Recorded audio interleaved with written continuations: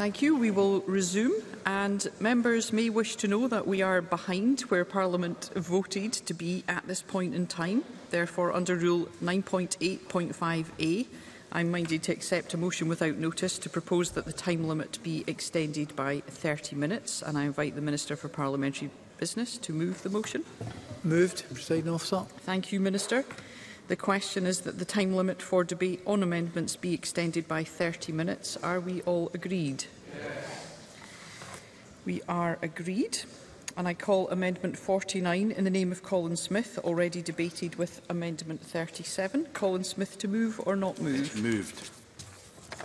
The question is that Amendment 49 be agreed to. Are we all agreed? No. Parliament is not agreed. Members should cast their votes now.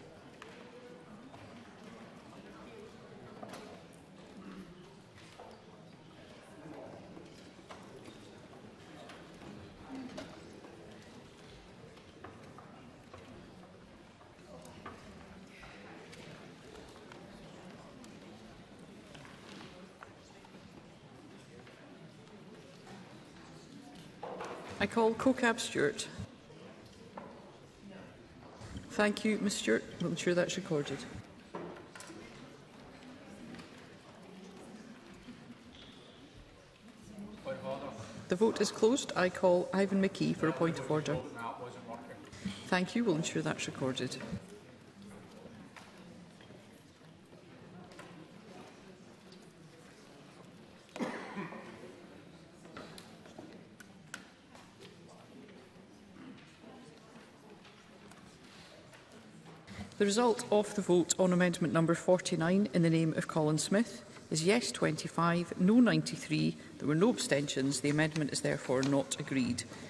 I call Amendment 50 in the name of Ariane Burgess, already debated, with Amendment 37. Ariane Burgess to move or not move? So, sorry, Ms Burgess, um,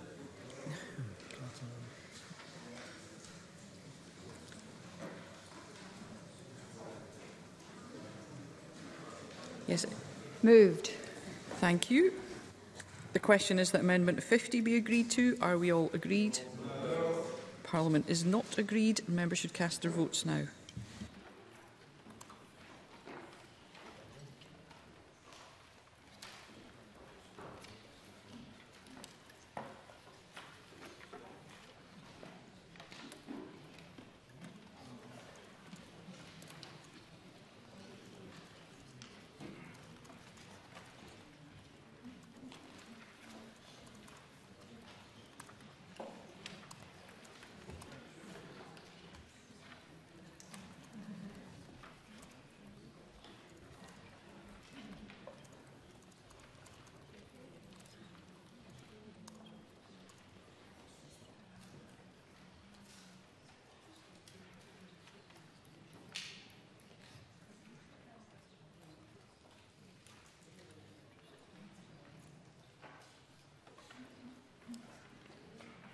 Paul Cocab Stewart?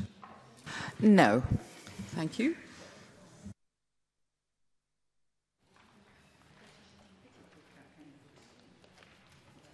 The vote is closed.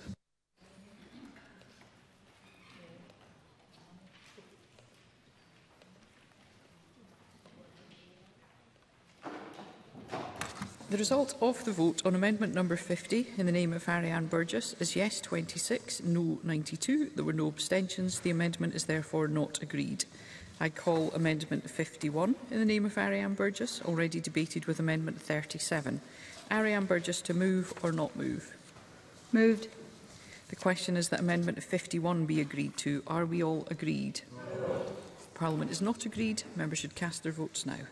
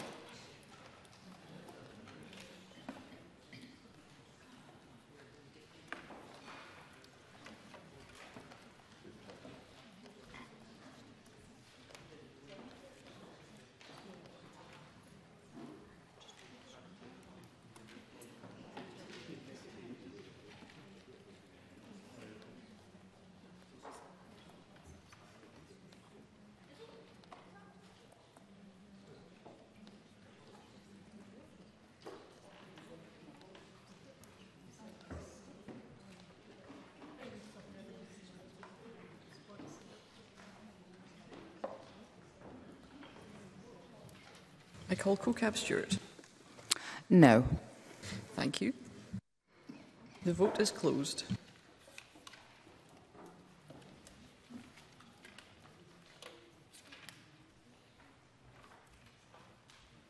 Point of order, Rachel Hamilton. Presiding officer, my app didn't work. I would have voted no. Thank you.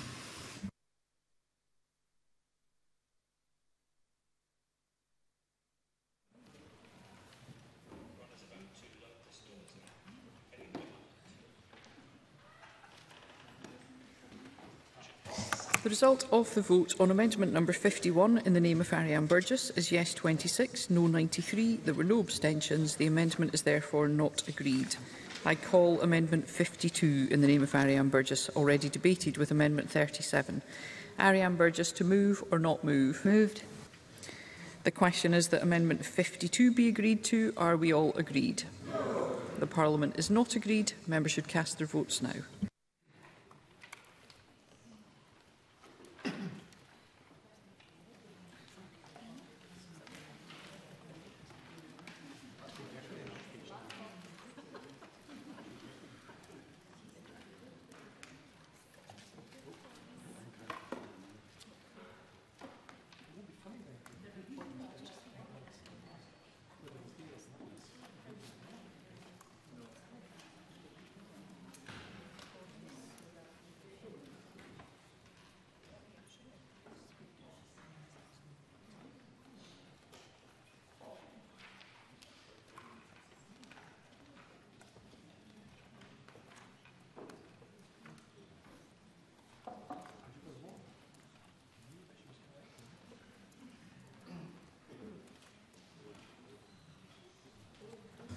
call CoCab Stewart?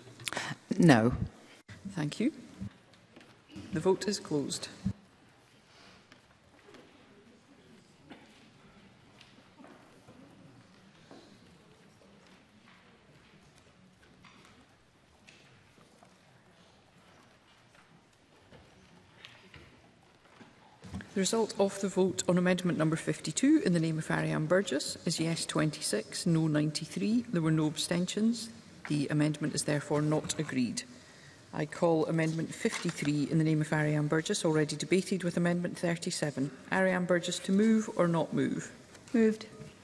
The question is that Amendment 53 be agreed to. Are we all agreed? No. Parliament is not agreed. Members should cast their votes now.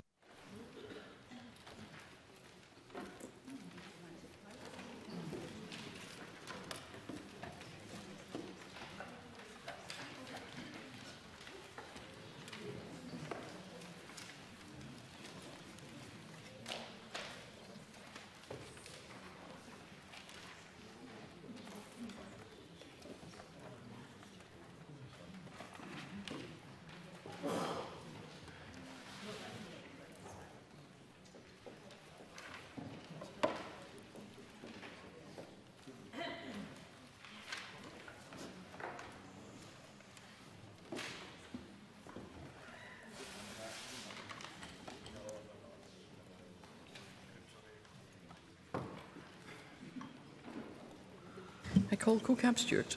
No. Thank you. The vote is closed.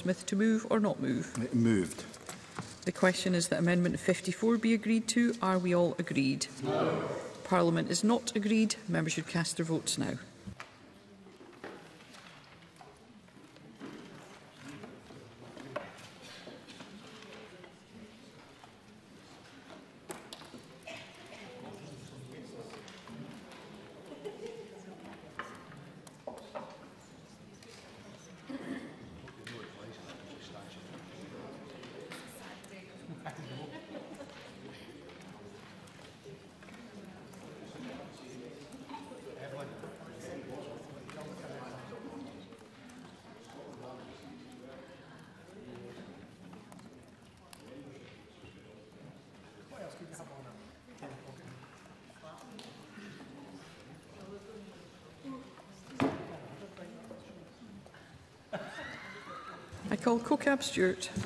No. Thank you. The vote is closed.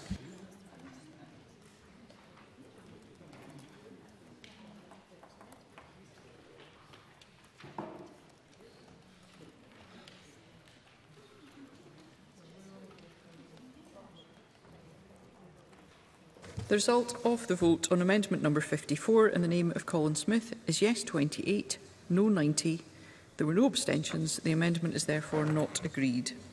I call Amendment 55 in the name of Rachel Hamilton, already debated with Amendment 19. Rachel Hamilton to move or not move? Not moved.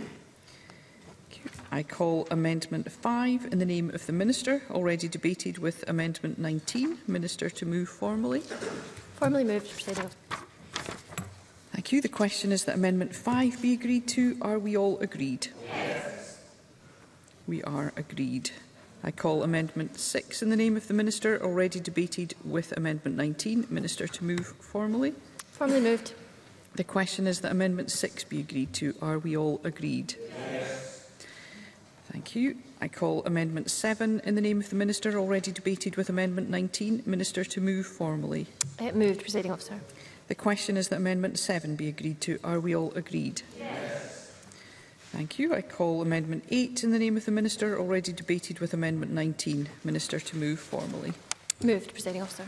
Thank you. The question is that Amendment 8 be agreed to. Are we all agreed? Yes. I call Amendment 56 in the name of Colin Smith, already debated with Amendment 34.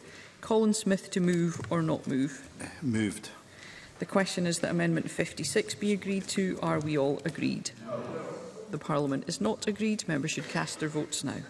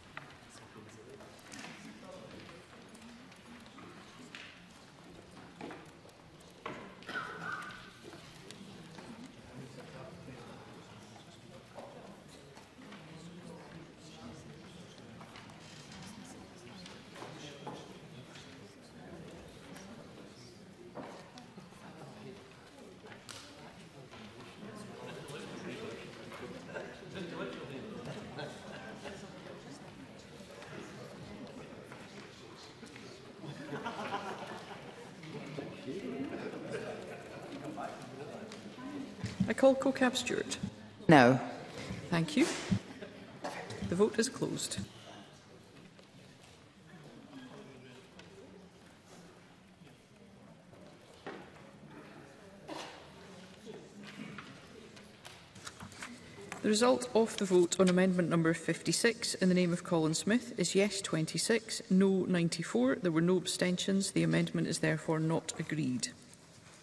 I call Amendment 9 in the name of Colin Smith, already debated with Amendment 34. Colin Smith to move or not move? Moved. The question is that Amendment 9 be agreed to. Are we all agreed? Yes. The Parliament is not agreed. Members should cast their votes now.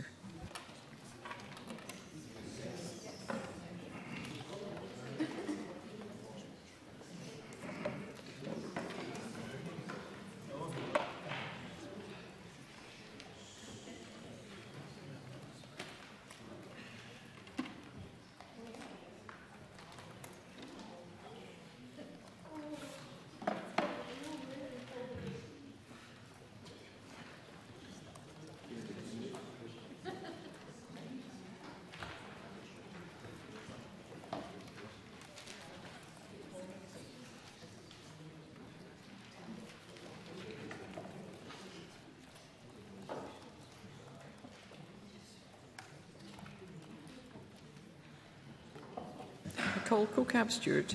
Yes. Thank you. The vote is closed.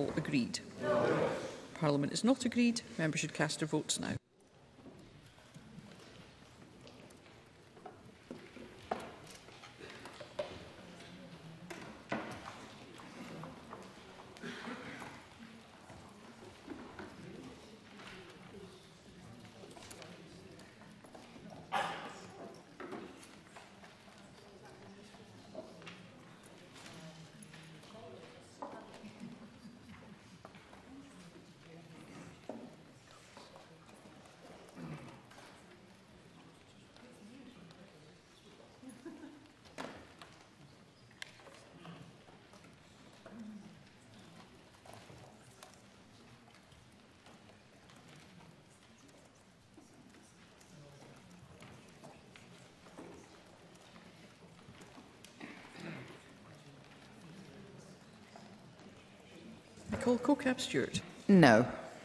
Thank you. The vote is closed.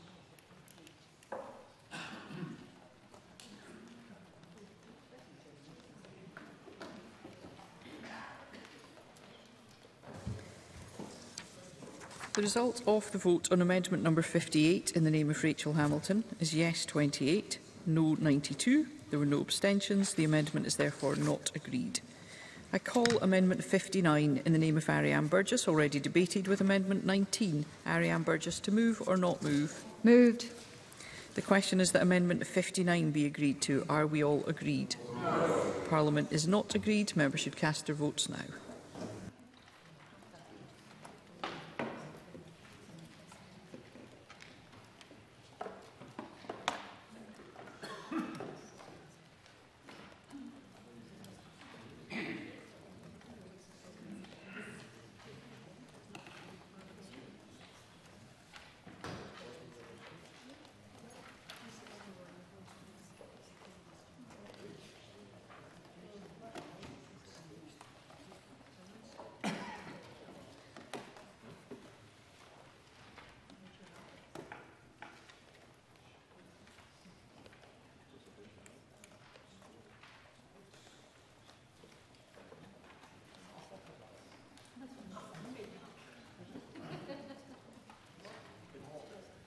Colco Cab Stewart? No. Thank you. The vote is closed.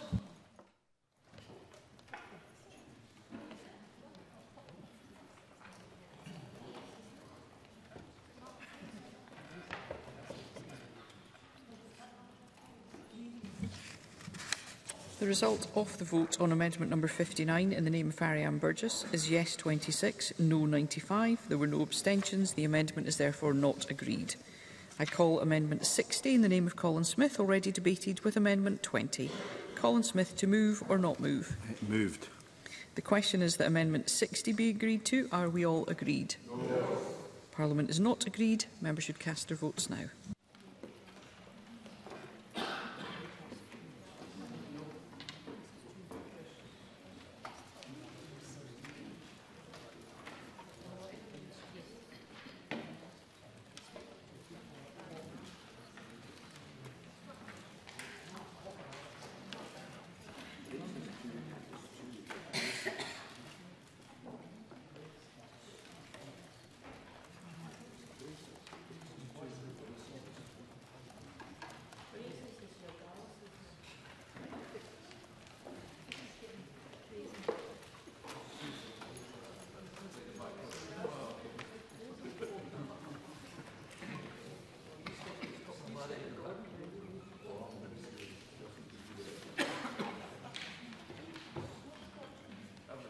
Cab-Stewart?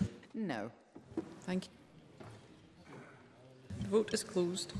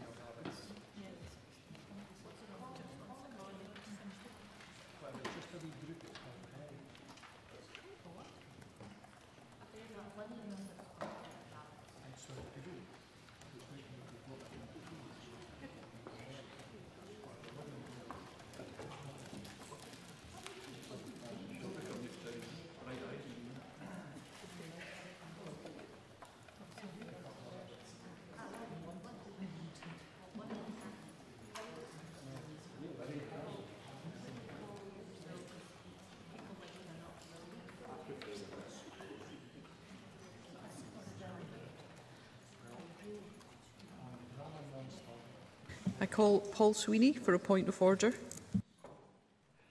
Thank you, Presiding Officer. My app didn't connect. I would have voted yes. Thank you, Mr Sweeney. We'll ensure that's recorded.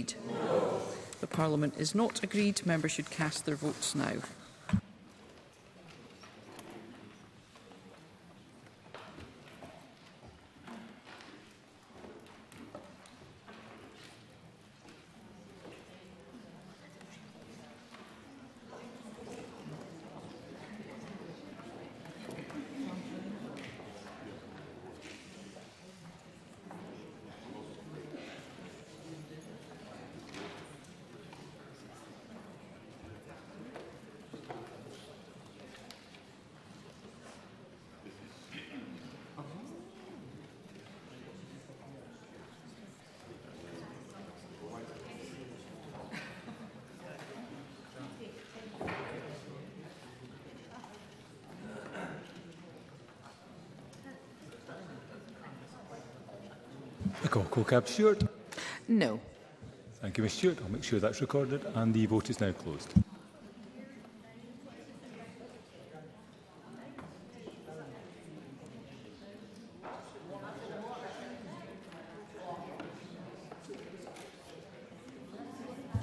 The result of the vote on amendment number 61 in the name of Colin Smith is yes 26. There were no 95, uh, no abstentions. The amendment is therefore not agreed. I call amendment 10 in the name of Colin Smith, already debated with amendment 34. Colin Smith to move or not move?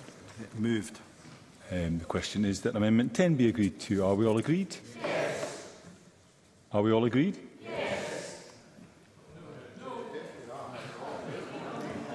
it would be helpful if you made that clear. Okay, we are not agreed. Um, there will be a division, Parliament and uh, members should cast their votes now.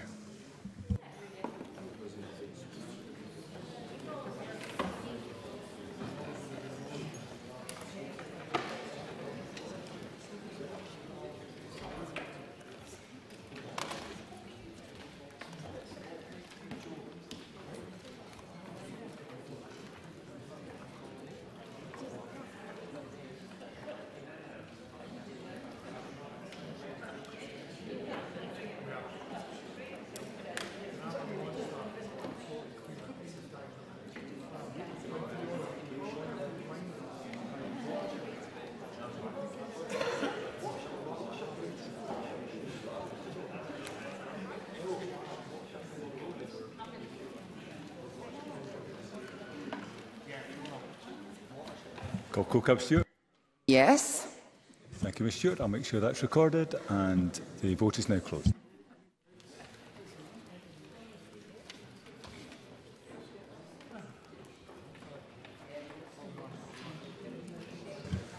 The result of the vote on amendment number 10 in the name of Colin Smith is yes 91, no 30. There were no abstentions. The amendment, therefore, is agreed. I call Amendment 62 in the name of Rachel Hamilton, already debated with Amendment 34. Rachel Hamilton to move or not move? Presiding officer, if it helps, I won't be moving 62, 63, 65 and 66.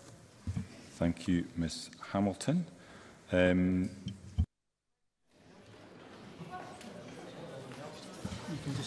I, I appreciate there, um, that that is helpful and we will try to expedite the process. Um, so 63 is not moved. Um, is Parliament agreed?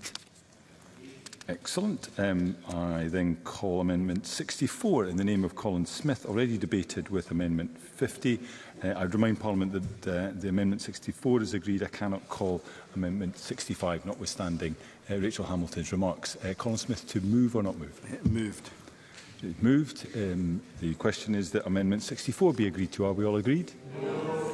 We are not agreed. There will be a division and members who cast the votes now.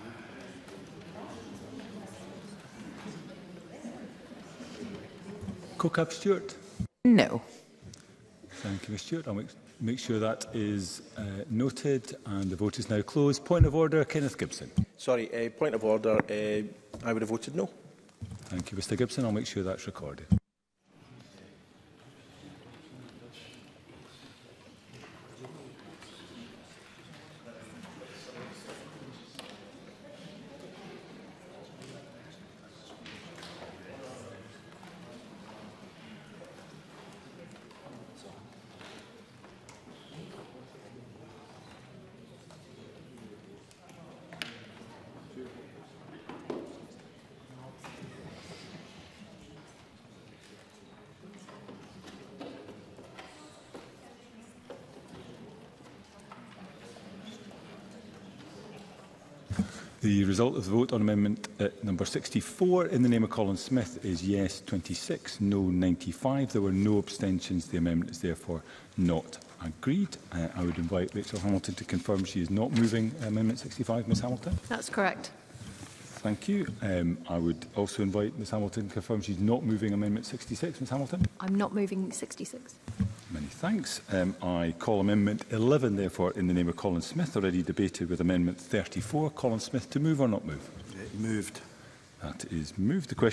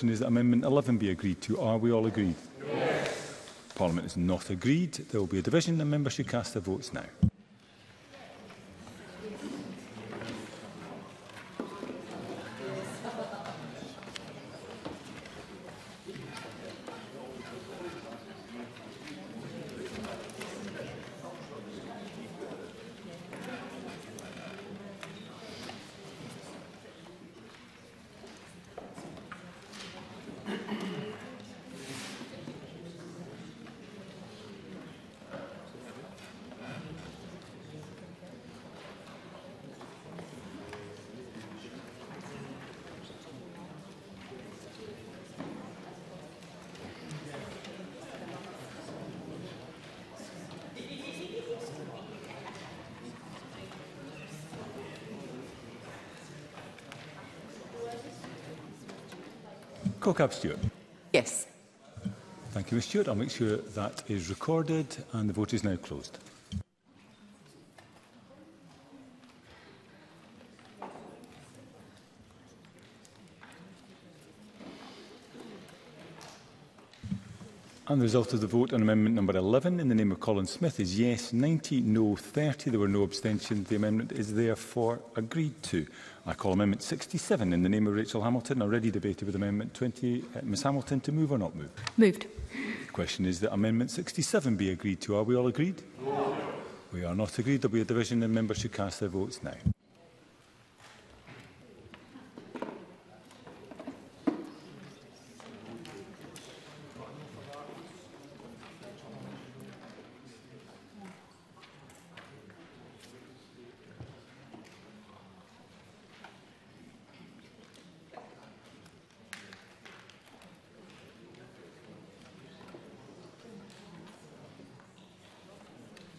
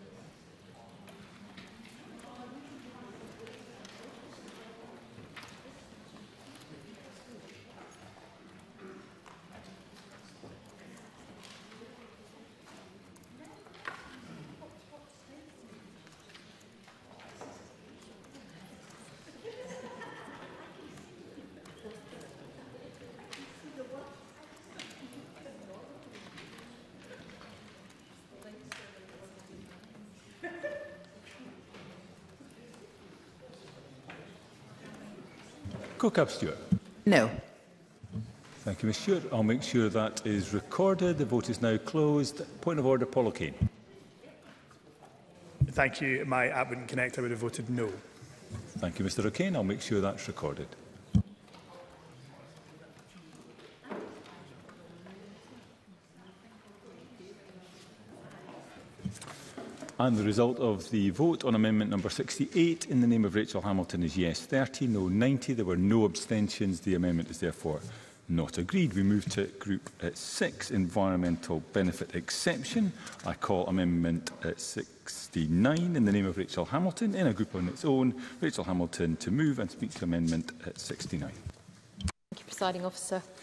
At stage two, the minister explained that a scheme could include a plan and used the example of a plan by a group of gamekeepers, this amendment seeks to specifically provide for this as a means of gaining an exception in the bill, whilst accepting that what amounts to a scheme will be clarified in the guidance that we are awaiting to see, it is important that the law recognises that land managers and keepers make a plan to control predators for important environmental reasons, both the welfare of the species to be managed and species such as as I've mentioned before, the capercaillie or the curlew, which are at risk of extinction unless predators are controlled. And that these plans are as important as the schemes of organisations such as Nature Scott, RSPB, as referred to in the Bill's explanatory notes. There needs to be certainty that the work of gamekeepers, land managers and farmers for environmental benefits can continue where this needs the use of more than two dogs as part of that management. The vast majority of management in Scotland takes place on private land and without the work of land managers on the ground, the government cannot hope to meet its targets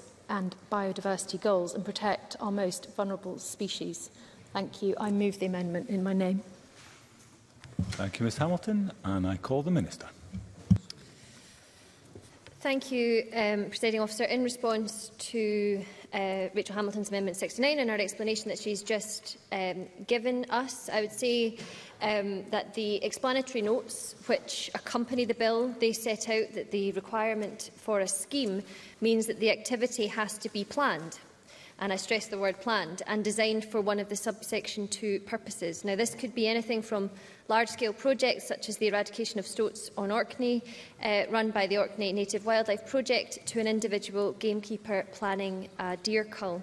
Um, as I said at stage two, it's my intention that further information about what may constitute a scheme for the purposes of applying for a licence under this exception will be set out in licensing guidance, which will be produced should the bill be passed.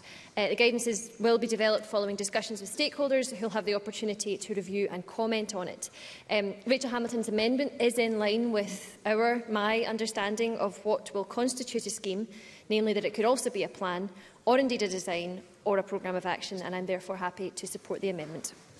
Thank you. I call Rachel Hamilton to wind up. Press the withdrawal amendment 69.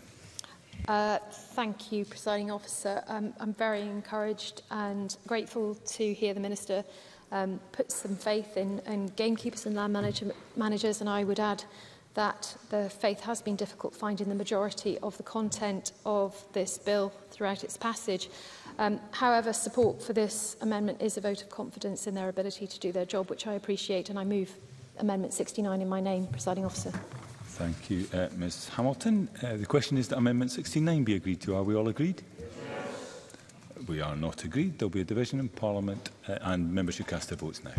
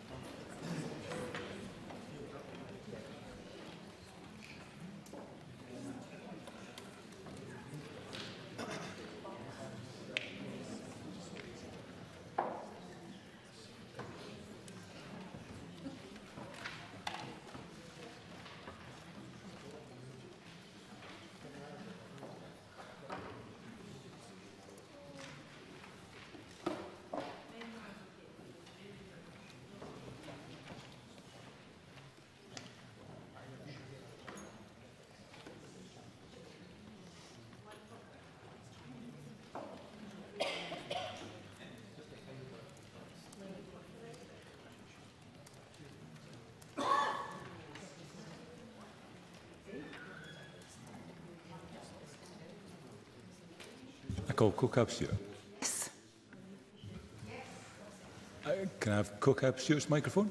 Yes. Thank you, Ms Stewart. I'll make sure that's recorded and the vote is now closed.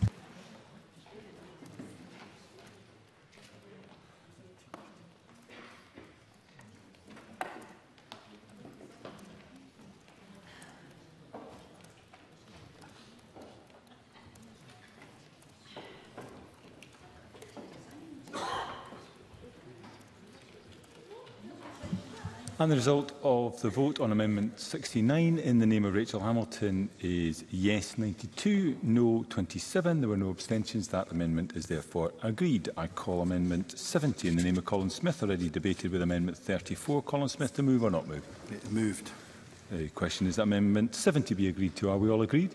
No. Parliament is not agreed. There will be a division and members should cast their votes now.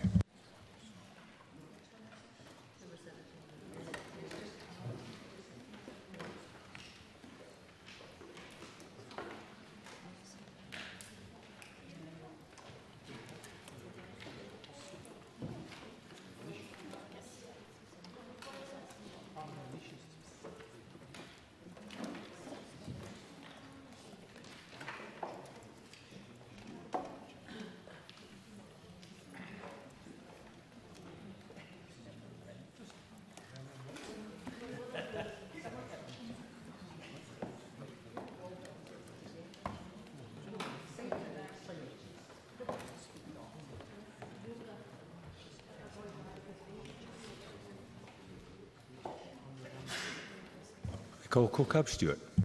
Uh, no. Thank you, Ms Stewart. I'll make sure that's recorded and the vote is now closed.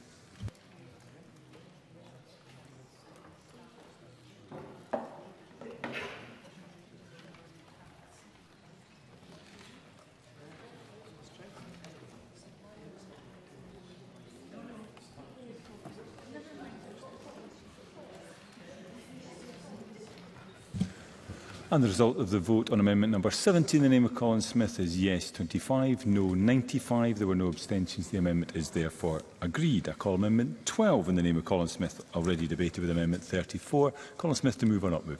Moved. Question is that amendment 12 be agreed to. Are we all agreed? Yes. We, we are not agreed. There will be a division and members should cast their votes now.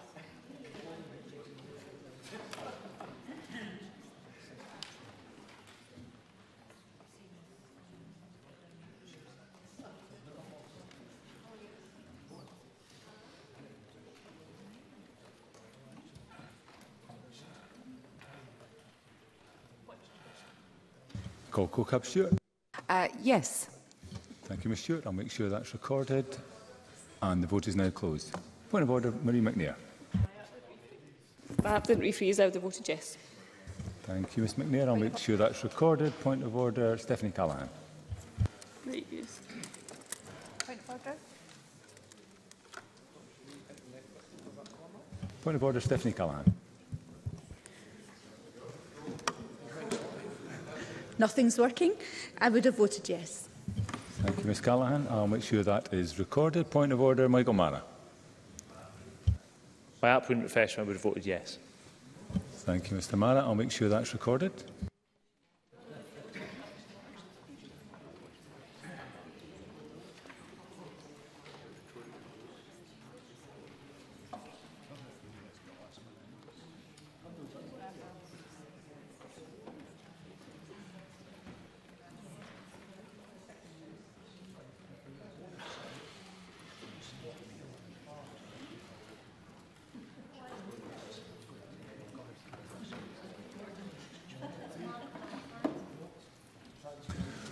the result of the vote on amendment number 12 in the name of Colin Smith is yes 90, no 29. There were no abstentions. The amendment is therefore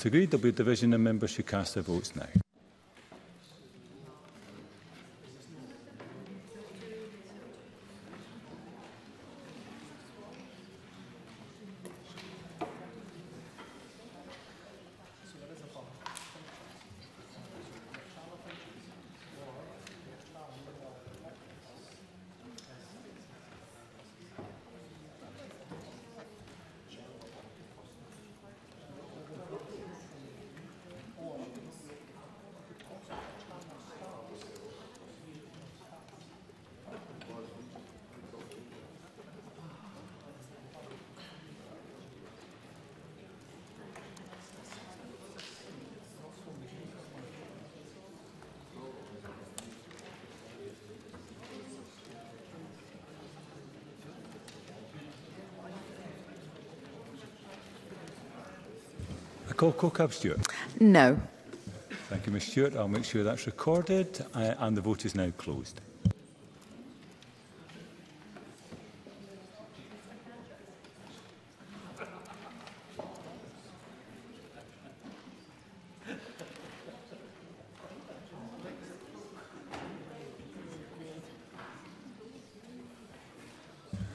And the result of the vote on amendment number 72 in the name of Ariane Burgess is yes 25, no 95. There were no abstentions. The amendment is therefore uh, not agreed. I call Amendment 73 in the name of Ariane Burgess, already debated with Amendment 37. Uh, Ms Burgess, to move or not move? Moved. Question is Amendment 73 be agreed to? Are we all agreed? Yes. Parliament is not agreed. There will be a division of members who cast their votes now.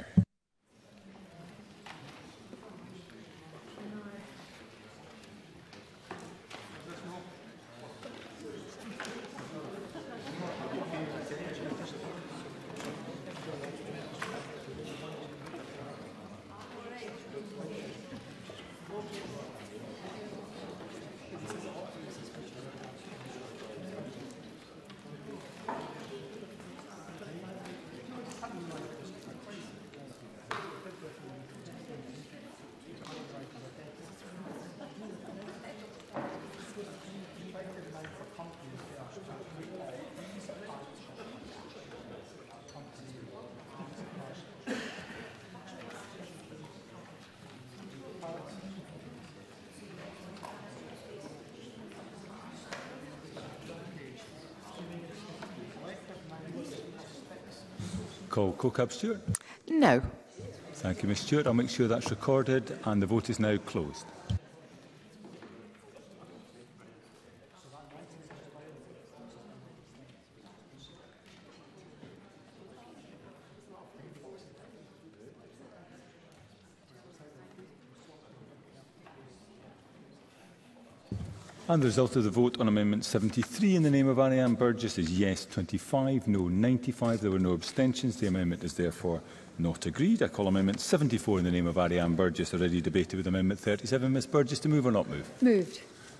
question is that Amendment 74 be agreed to. Are we all agreed? No. Parliament's not agreed. There'll be a division of members should cast their votes now.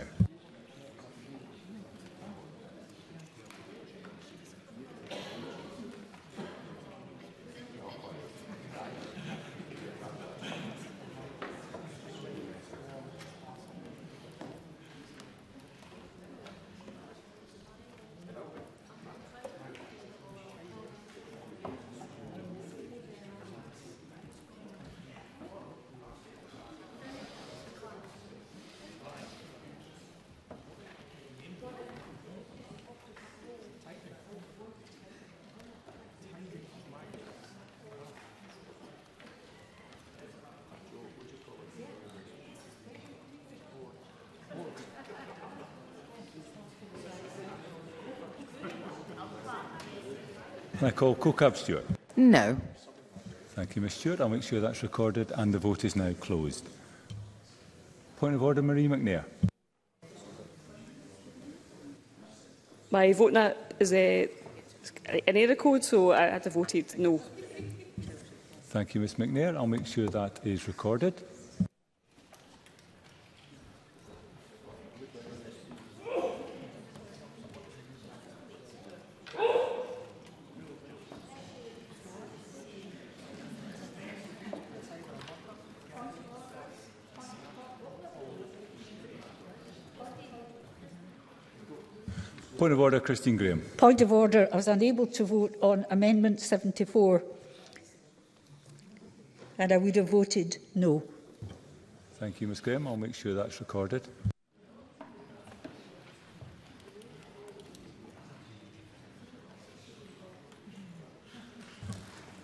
result of the vote on Amendment 74 in the name of Ariane Burgess is yes 25, no 94. There were no abstentions. The amendment is therefore not agreed. Uh, I call Amendment 75 in the name of Rachel Hamilton, already debated with Amendment 37. I'd remind members that if Amendment 75 is agreed to,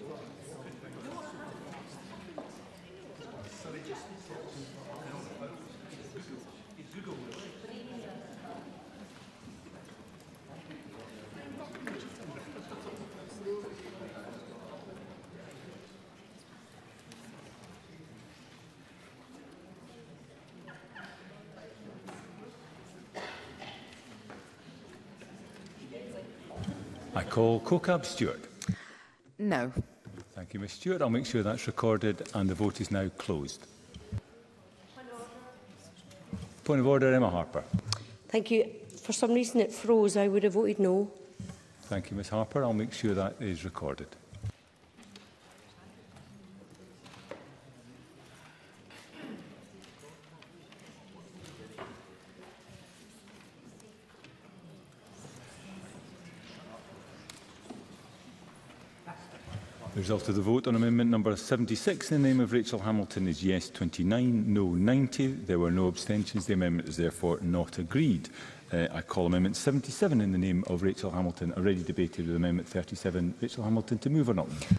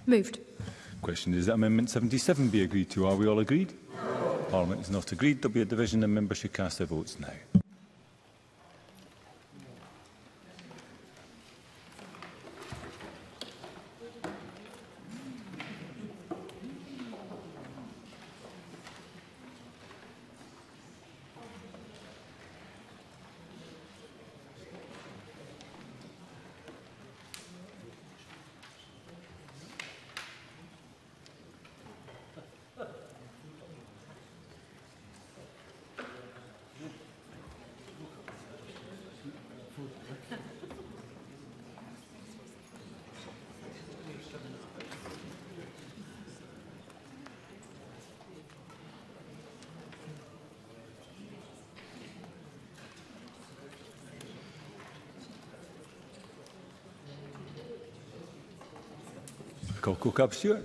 No. Thank you, Ms Stewart. I'll make sure that's recorded and the vote is now closed.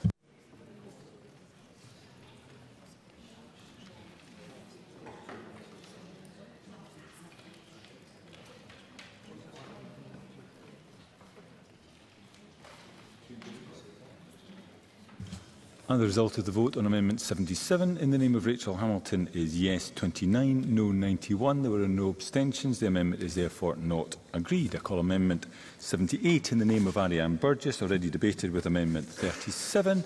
Uh, Ms Burgess, to move or not move? Moved. Question is that Amendment 78 be agreed to. Are we all agreed? No. Parliament's not agreed. There'll be a division and members should cast their votes now.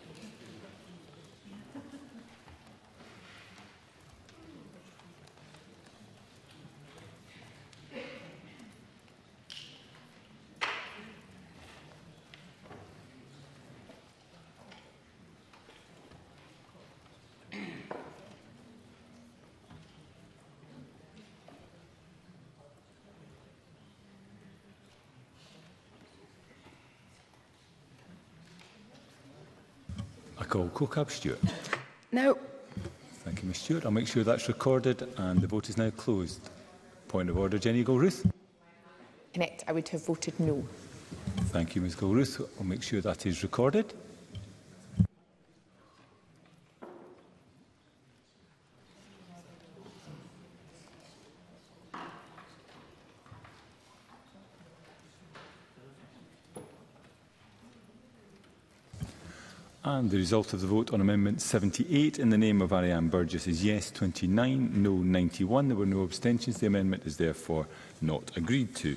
Call Amendment 79 in the name of Ariane Burgess, already debated with Amendment 37. Ms Burgess, to move or not move? Not moved.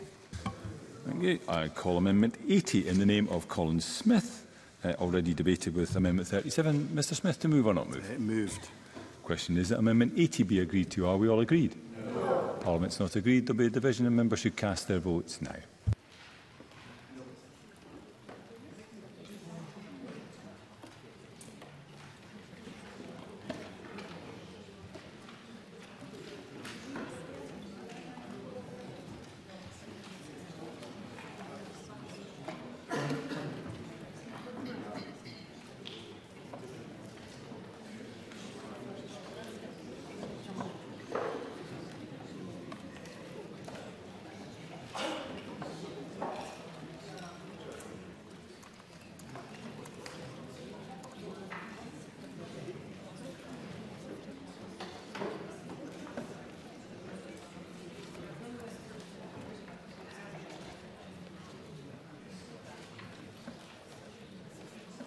call Cocab Stewart? No. Thank you, Ms Stewart. I'll make sure that's recorded and the vote is now closed.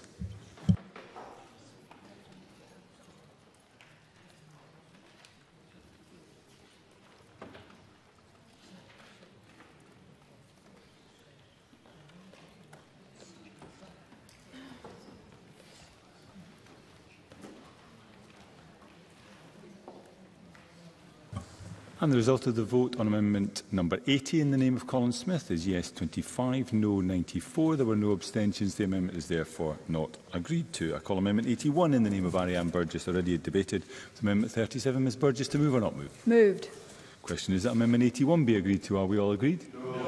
Parliament's not agreed. There'll be a division and cast their votes now.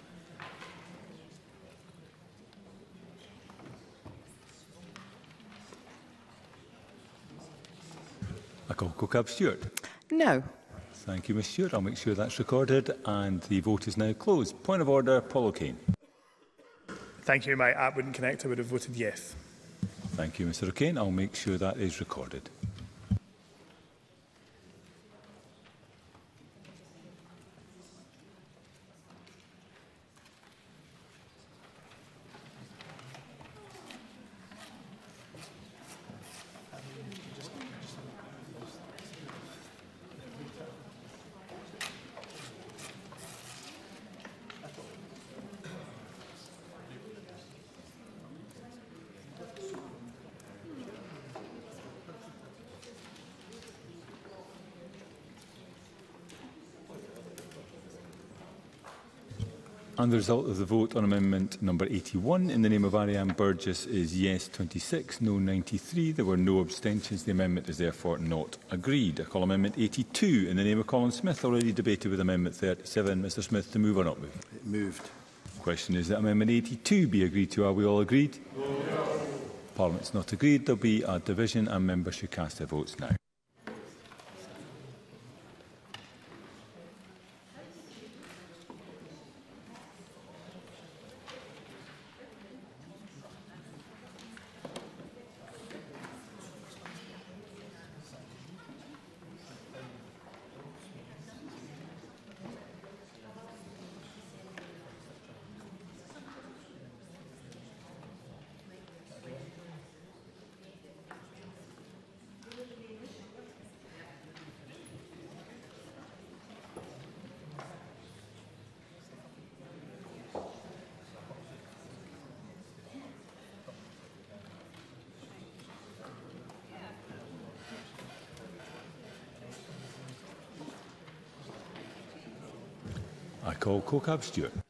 No.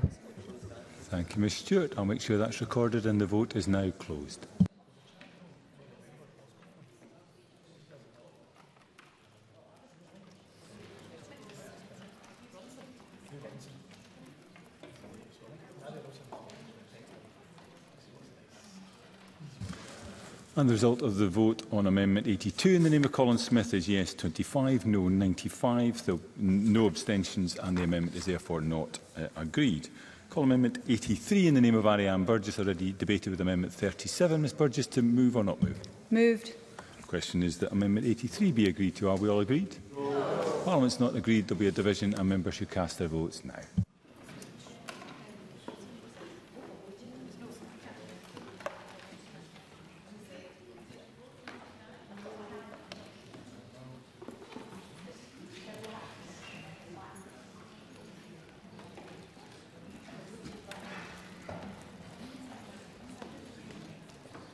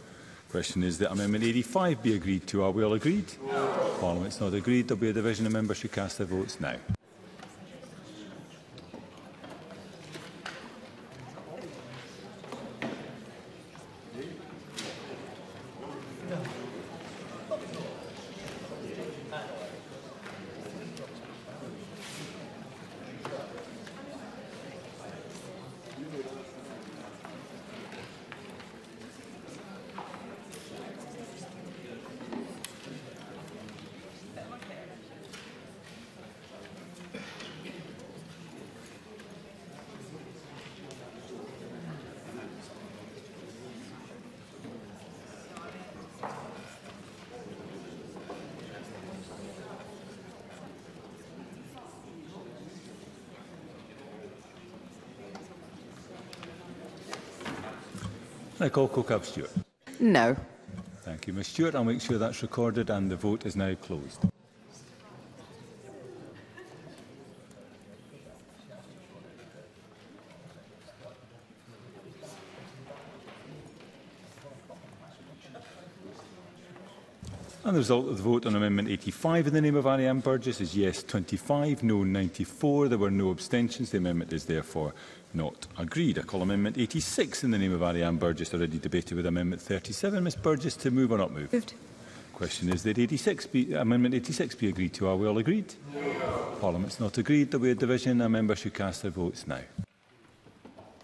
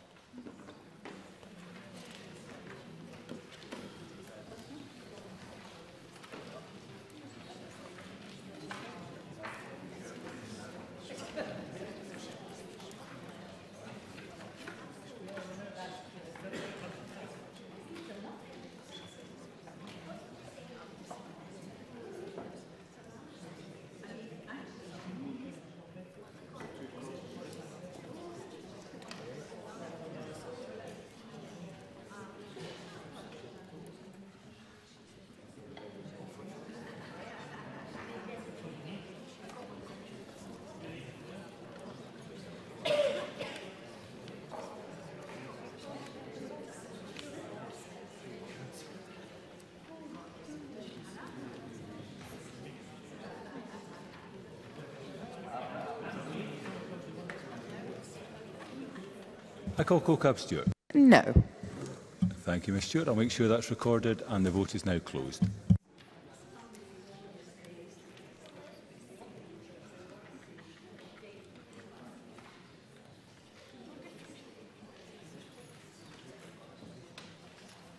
And the result of the vote on Amendment 86 in the name of Ariane Burgess is yes 25, no 94. There were no abstentions. The amendment is therefore not agreed. a call Amendment 87 in the name of Rachel Hamilton, already debated with Amendment 37. Ms Hamilton, to move or not move? Moved. Question is that Amendment 87 be agreed to. Are we all agreed? No. Parliament's not agreed. There'll be a division and members should cast their votes now.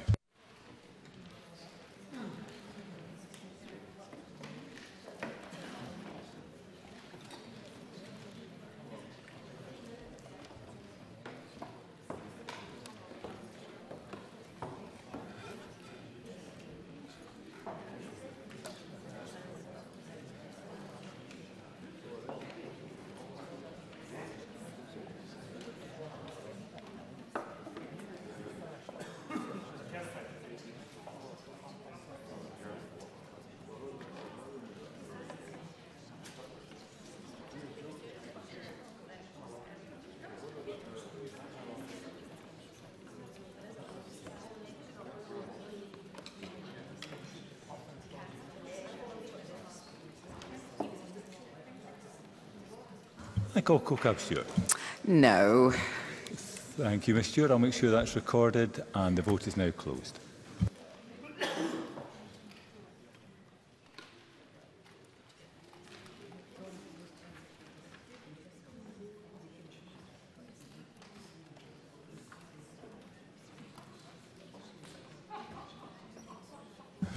and the result of the vote on amendment number 87 in the name of Rachel Hamilton is yes 29, no 89. There were no abstentions. The amendment is therefore not agreed to. I call amendment 8 in the name of Rachel Hamilton, already debated with amendment 37. Uh, Rachel Hamilton to move or not move? Moved.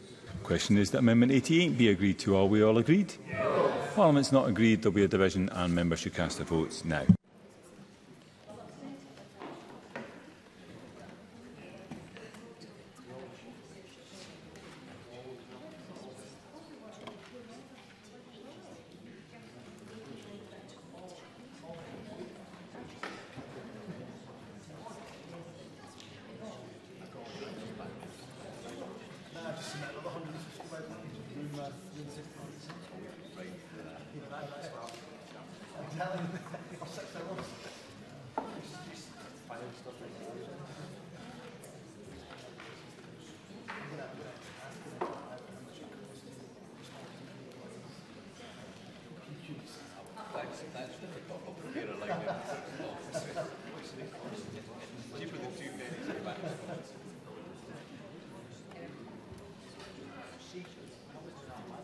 And I call up Stewart.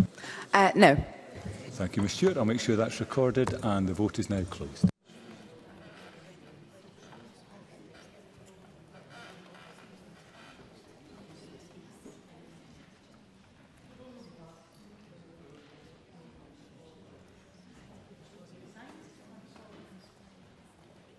And the result of the vote on Amendment 88 in the name of Rachel Hamilton is yes, 30, no 89. There were no abstentions uh, and the amendment is therefore not agreed. I call Amendment 89 in the name of Rachel Hamilton already debated with Amendment 37. Ms Hamilton to move or not move? Moved. question is that Amendment 89 be agreed to. Are we all agreed? No. Parliament's not agreed. There'll be a division of members who cast their votes now.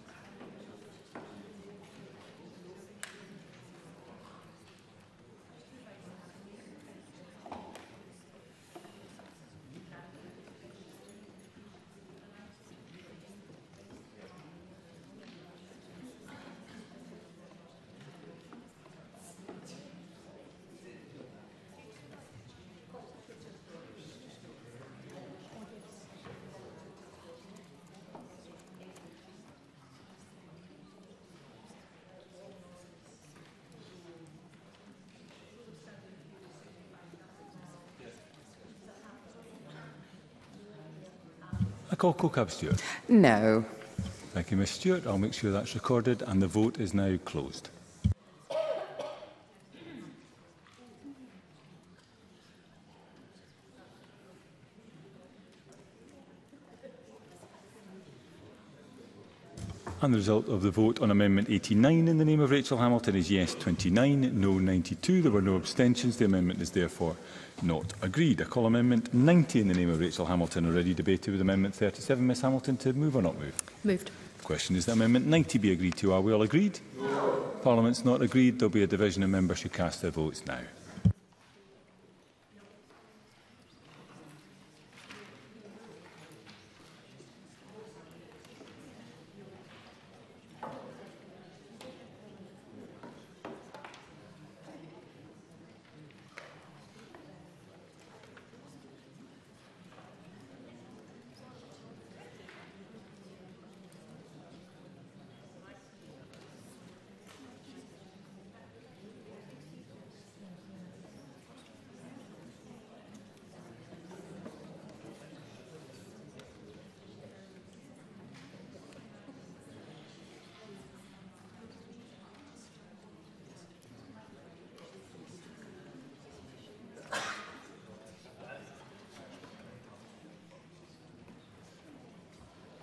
And I call Cocab Stewart. Uh, no.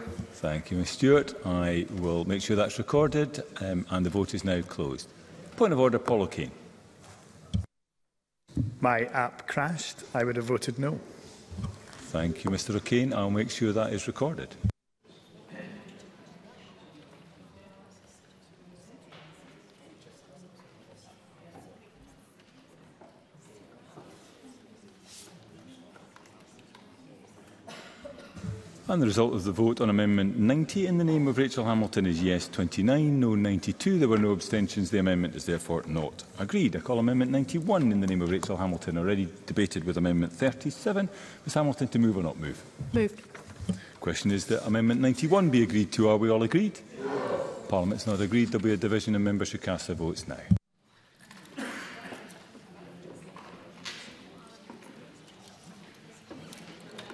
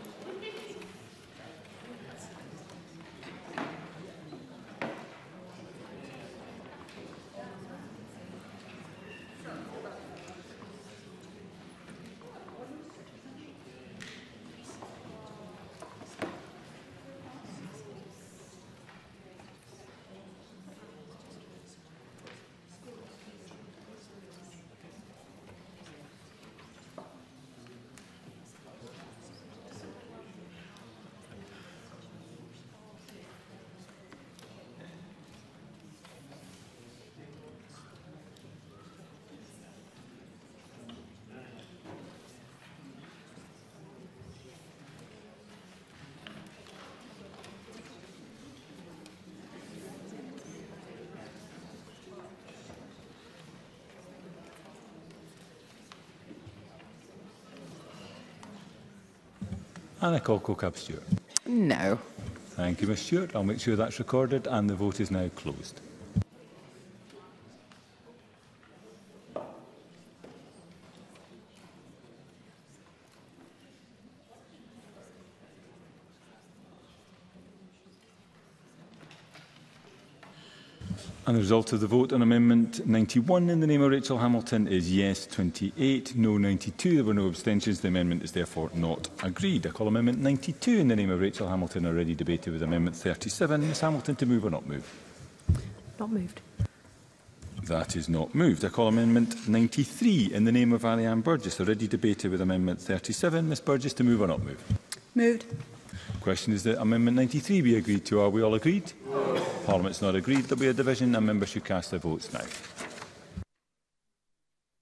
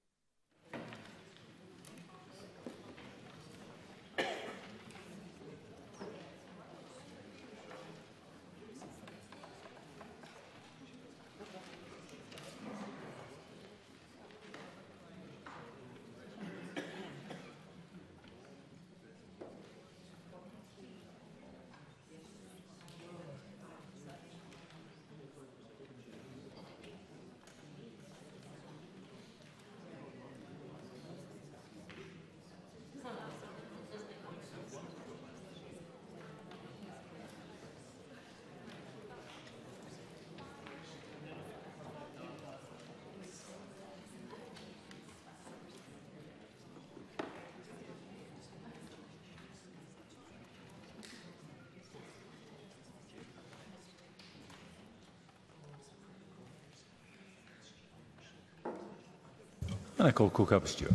No. Thank you, Ms Stewart. I'll make sure that's recorded and the vote is now closed.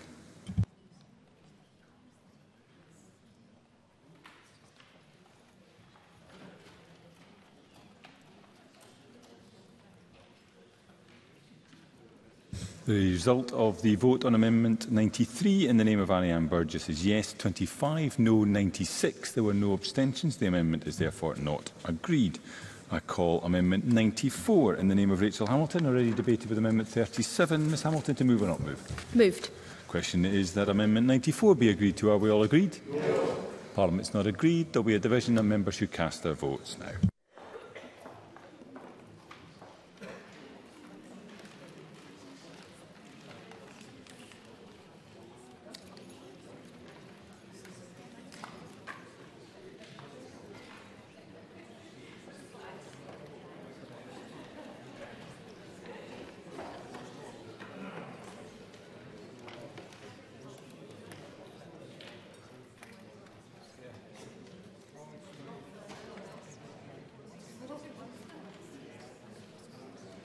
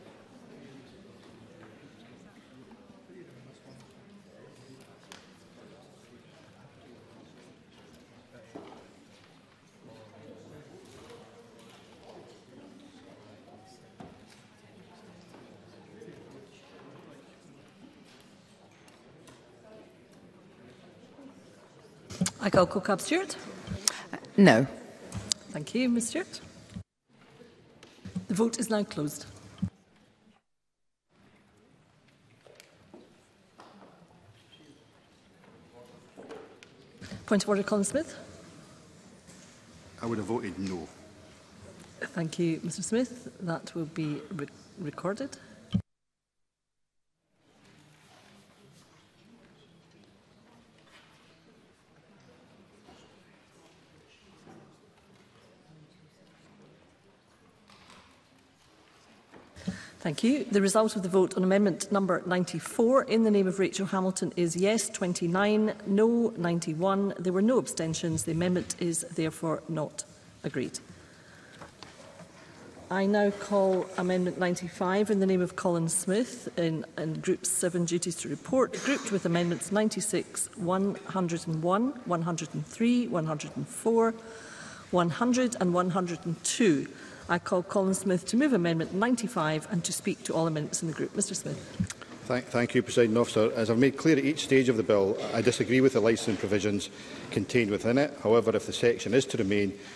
then we must ensure that the system works as it is intended to, with licences only granted as a last resort. Amendment 95 in my name, which I move, would create a duty for ministers to review the operation of the licence scheme created by sections 4 and 8 every five years, lay a report before Parliament after each review and specify the actions that will be taken as a result of the review or the reason no action will be taken.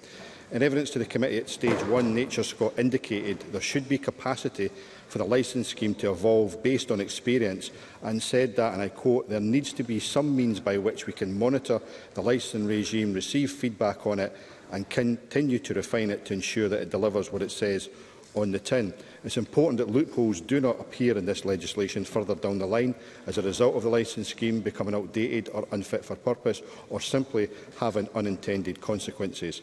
The requirement in my amendment for ministers to review the operation of the licence scheme and then take the appropriate action in response would ensure that the duty to report is as effective as it can be.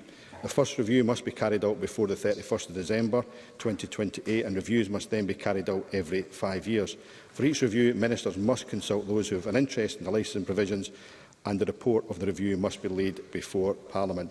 Scottish Government must set out in that report any actions they intend to take as a result of the review or give a reason if they decide no action is required.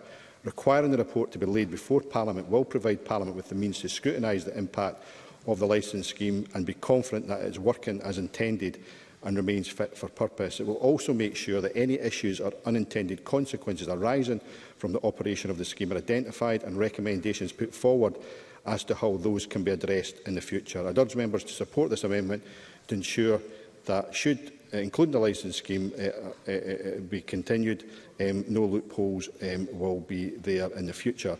Um, Edward Moulton's Amendment 96 creates a requirement to report on licensing, but it doesn't seek to have a review. Other amendments from 101 to 104 also create a requirement to report.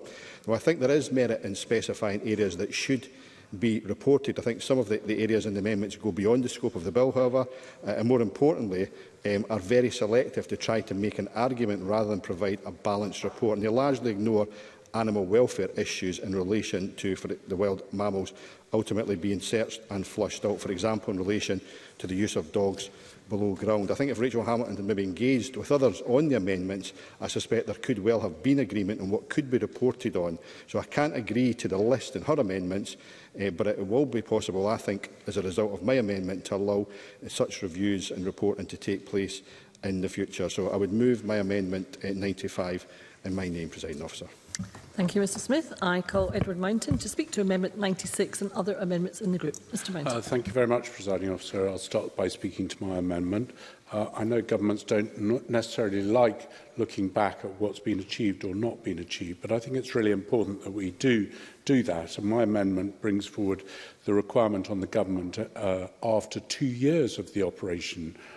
of any licensing to declare information about the applications granted and the applications refused. There are, there are slightly different areas uh, in each of those which can be seen in the amendment. I think it also should declare how long it takes for an application to be processed and would be very happy for the government uh, to add any other information that they feel appropriate. Now, I want to uh, just say on this that uh, The Cabinet Secretary said early that, earlier that she was convinced that Nature Scott had the facilities to do this. Well, I too am convinced that Nature Scott have the facilities to do it because I met with them and asked them whether they had the ability to carry out the requirements of this legislation and permutations of it, and they told me yes.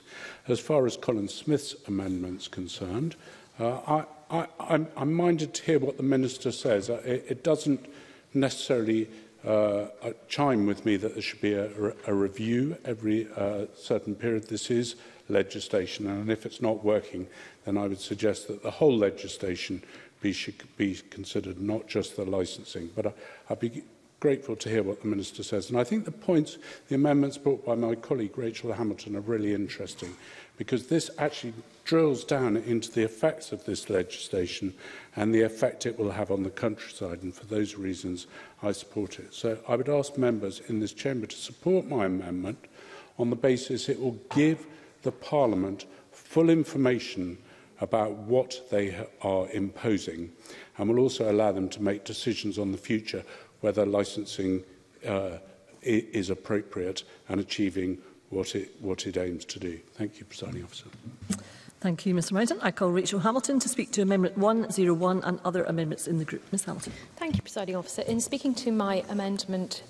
uh, I talked about the opportunity within this bill, that was Amendment 24, uh, to make further provisions to address the illegal act of hair coursing. Amendment 101 seeks to ensure ministers report on the impact of this bill on hair coursing using dogs and outlines a way of taking further steps to reduce occurrences in this activity. Amendment 103 adds further provisions on matters for ministers to report on in relation to the impact of the bill. I'm particularly concerned at the lack of consideration this bill has given to the welfare of dogs involved in hunting I'm concerned that BASC, the Scottish Gamekeepers Association and Moreland groups believe that as a direct result of this bill, working dogs will face a cull. I believe it is necessary for ministers to report on the impact the bill will have on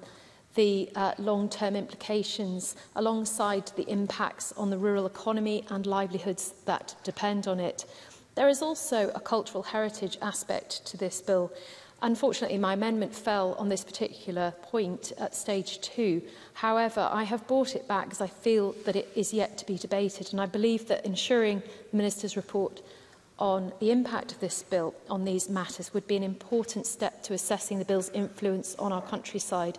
Amendment 102 also seeks to assess the impact of this bill on other aspects of the rural economy likely to be impacted by the bill, including uh, the impact on, for example, veterinary services, farriers, apprenticeships, etc. We've heard from stakeholders, particularly Basque, the Kennel Club and Scottish Moorland groups, that one of the unintended consequences of the bill would be to erode the rural economy. And a large part of our countryside culture through their film screened in Parliament, which many of us saw last September demonstrated exactly that. Amendment 102 therefore also seeks to ensure this is reported on alongside any potential harm this bill may have on the increasing strain on rural workers' mental health, in including increase in loneliness and isolation due to the loss of social structure around uh, hunting. It is evident and also raised by the NFUS and, of course, We can only look at this through the, the lens of the call for a gamekeepers task force. Poor mental health in rural areas is costing lives in Scotland, and I believe that it is right that we ensure our work here in Parliament does not exacerbate that. I am afraid, as many rural stakeholders are, that this bill has the potential to make things worse. I would therefore appreciate a commitment from the government to support this amendment, in particular to ensure we assess whether this bill does harm mental health amongst rural workers and that constructive work is undertaken to minimise the risks of this.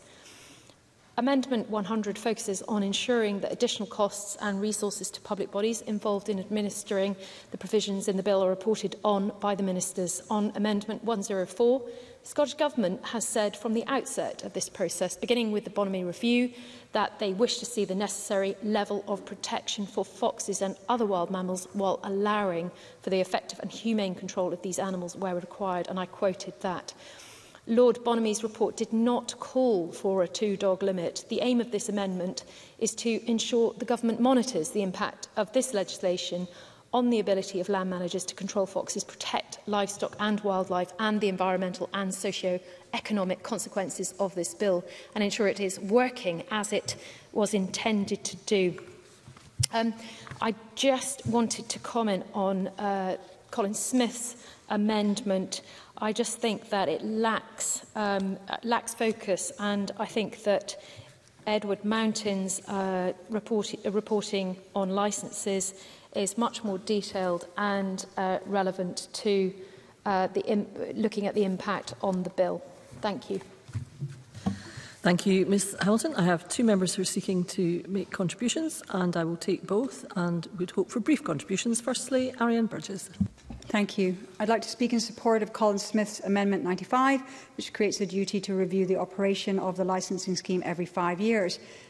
and take appropriate action. Our legislation needs to be watertight in order to put a stop to fox hunting and other cruel activities that involve hunting with dogs, such as badger baiting. The licensing scheme, unfortunately, offers one of the biggest potential loopholes. So it should definitely be a subject of per per periodic review. In particular, it will be important to determine whether the licence for using dogs for environmental benefit is used for legitimate purposes and whether it's necessary to retain it.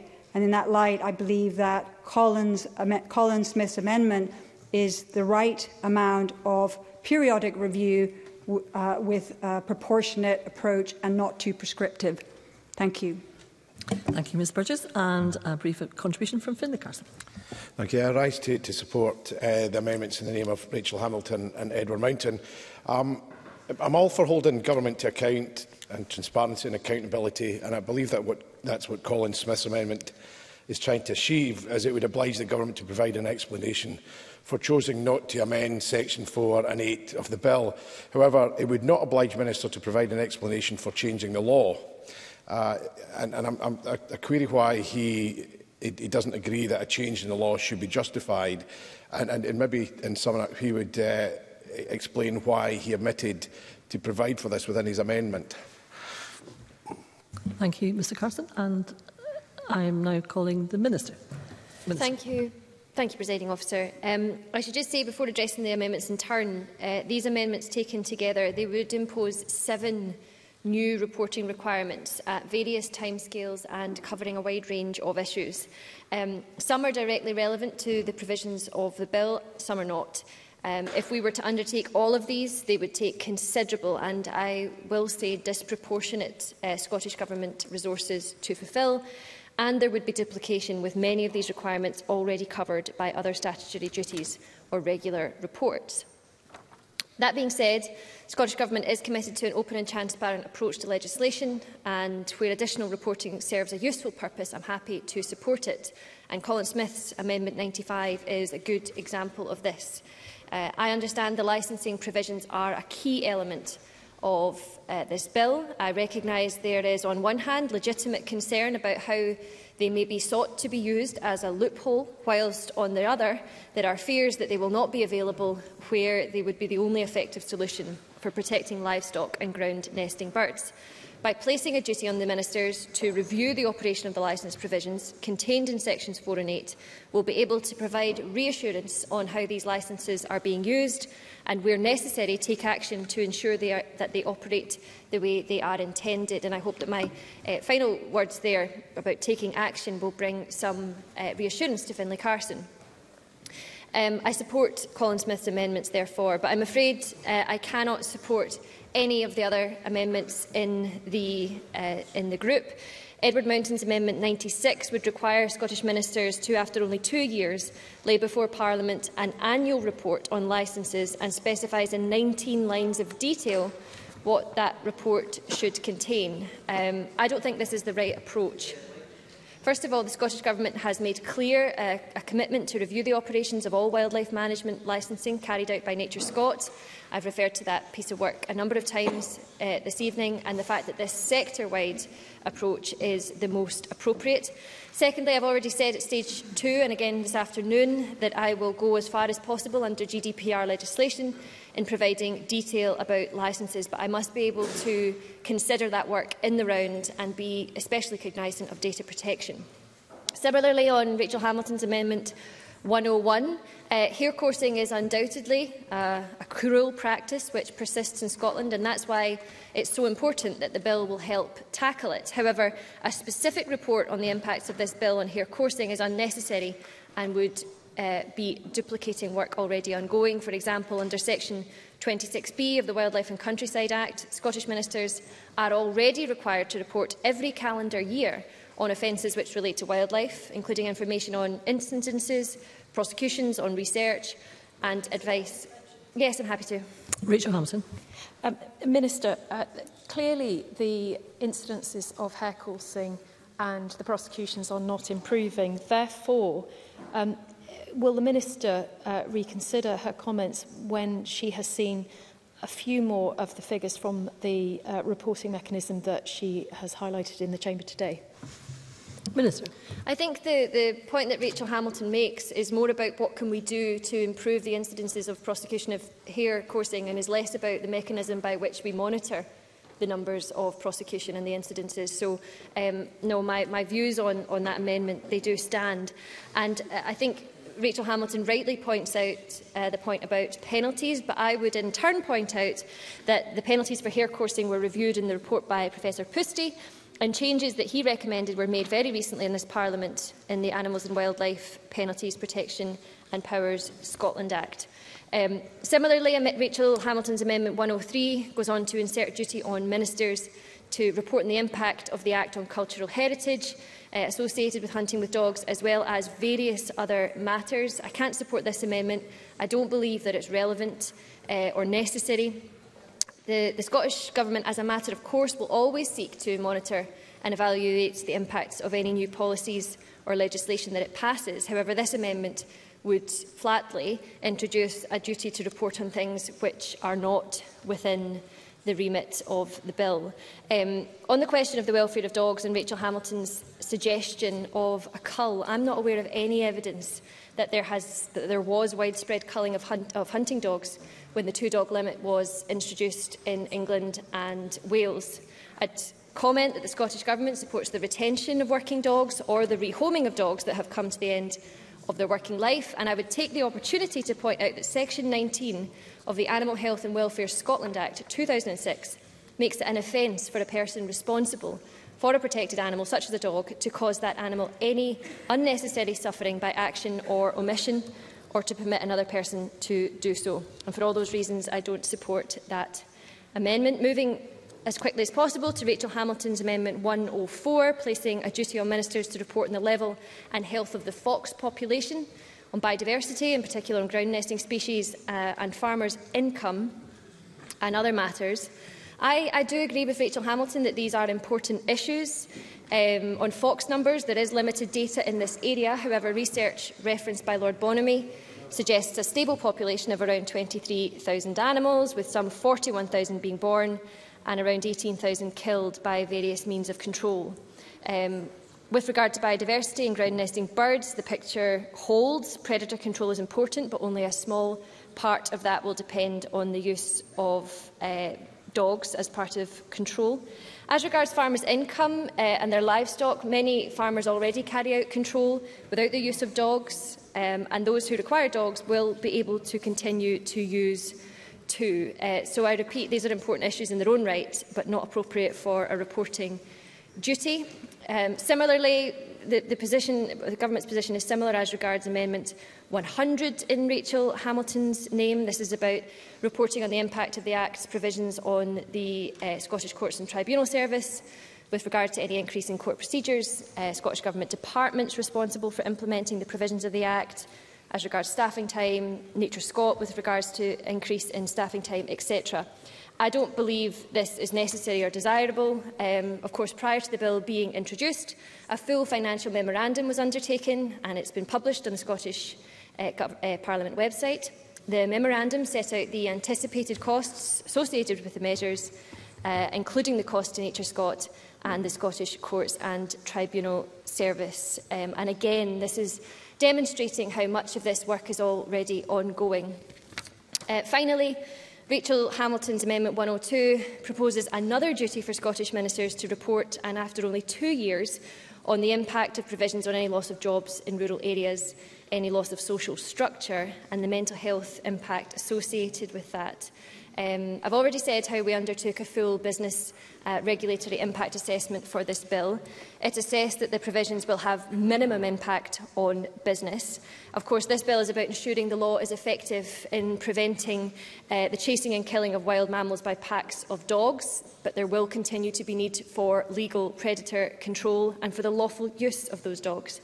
Um, the impact of this bill on, any, on a particular aspect of, of rural society and mental health is, of course, another important, but I would say uh, very vague and difficult concept to report on, uh, and I don't think that it would be sensible to require it by law, as Rachel Hamilton suggests. Um, there's also some, some drafting issues. For example, it's not clear what it, or who would be covered by the term apprentices, among others. Uh, so for that reason, I can't support any amendments in the group, with the exception of Colin Smith's. Thank you.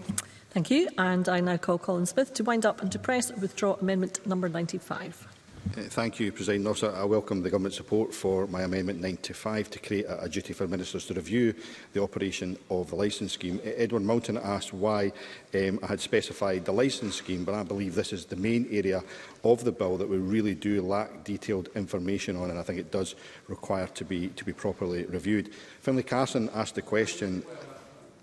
Yeah, I'll give away my Edward Moulton.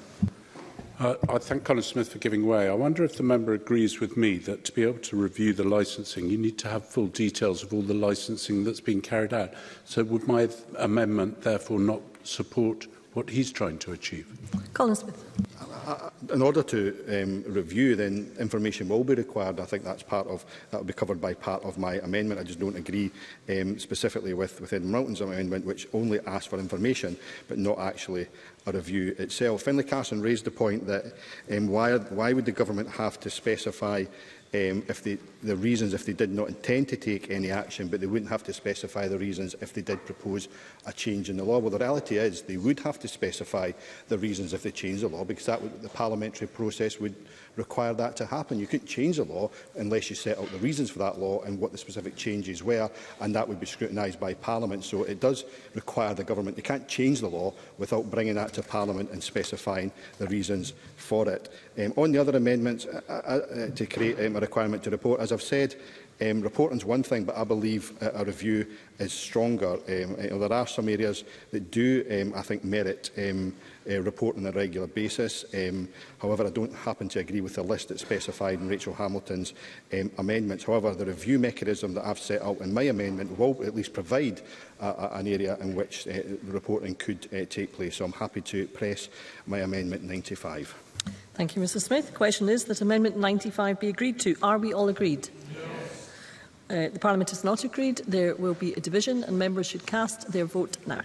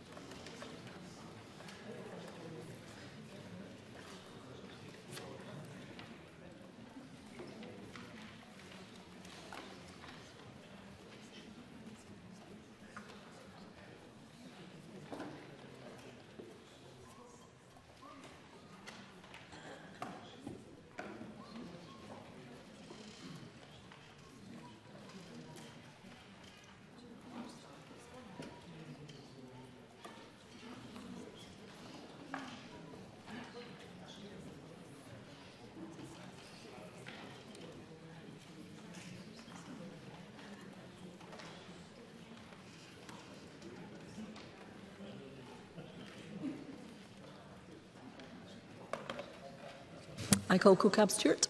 Yes. Thank you, Ms Stewart.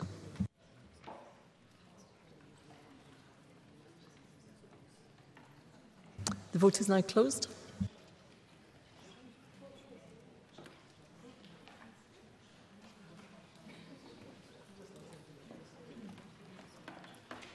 Thank you. The result of the vote on amendment number 95 in the name of Colin Smith is yes 92, no 29. There were no abstentions. The amendment is therefore agreed.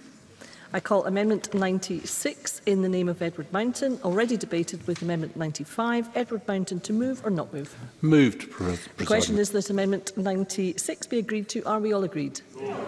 The Parliament has not agreed. There will be a division. Members should cast their vote now.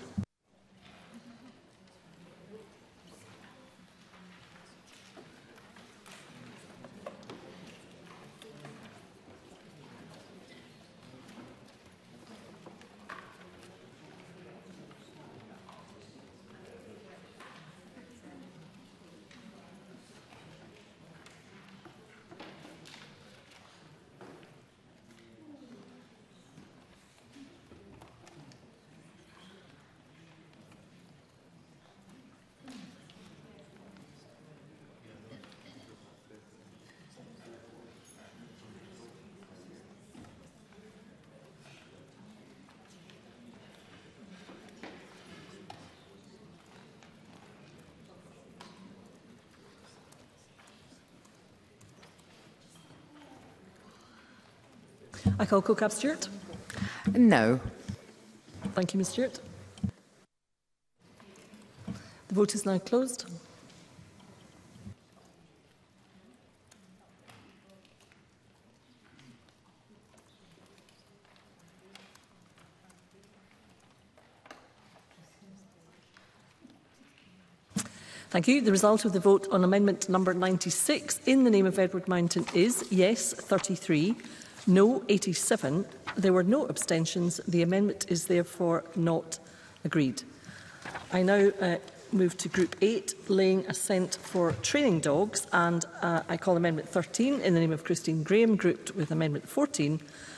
And I call Christine Graham to move Amendment 13 and to speak to both amendments in the group. Ms Graham. Uh, thank you, Deputy Presiding Officer. I'll speak to both amendments. I'll speak first to Amendment 13, which replicates an amendment I lodged at Stage 2 as a probing amendment. The purpose of that amendment was to prevent possible circumvention of the legislation by, for example, say the practice what's known as an inverted commas clean booting close inverted commas.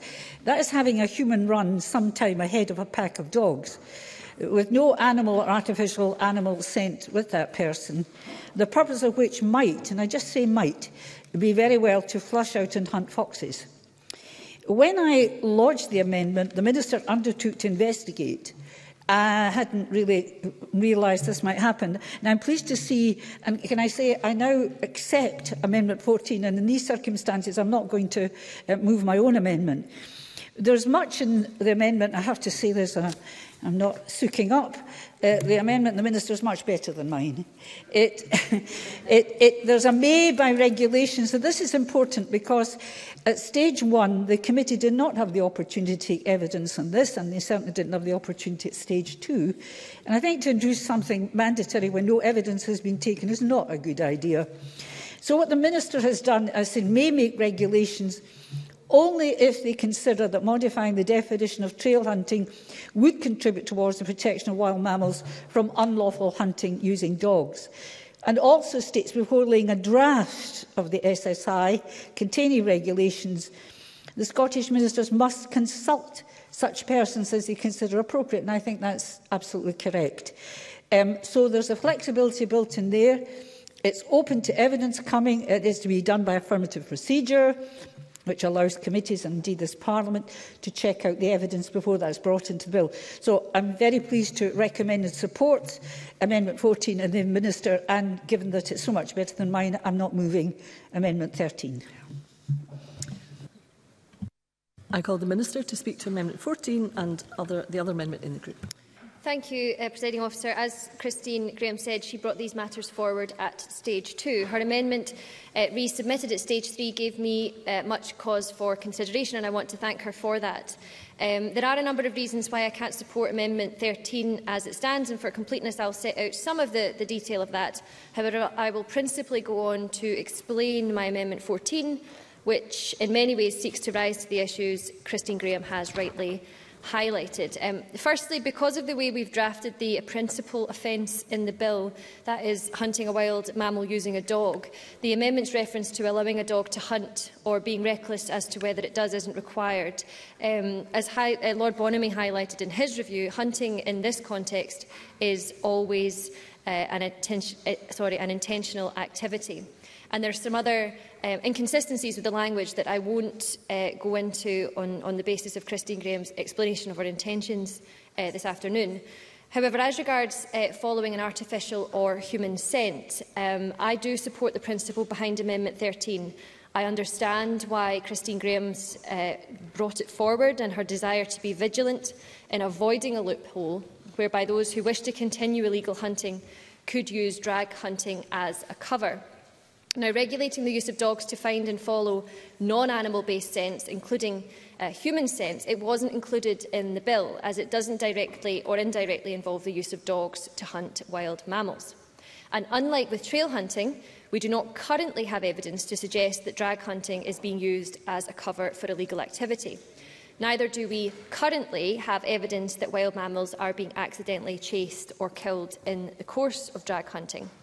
Um, now, as the bill is drafted, if a person undertaking drag or clean boot hunting uh, and they allow their dog to chase or kill a wild mammal without taking reasonable steps to prevent it, then they may have committed an offence under Section 1.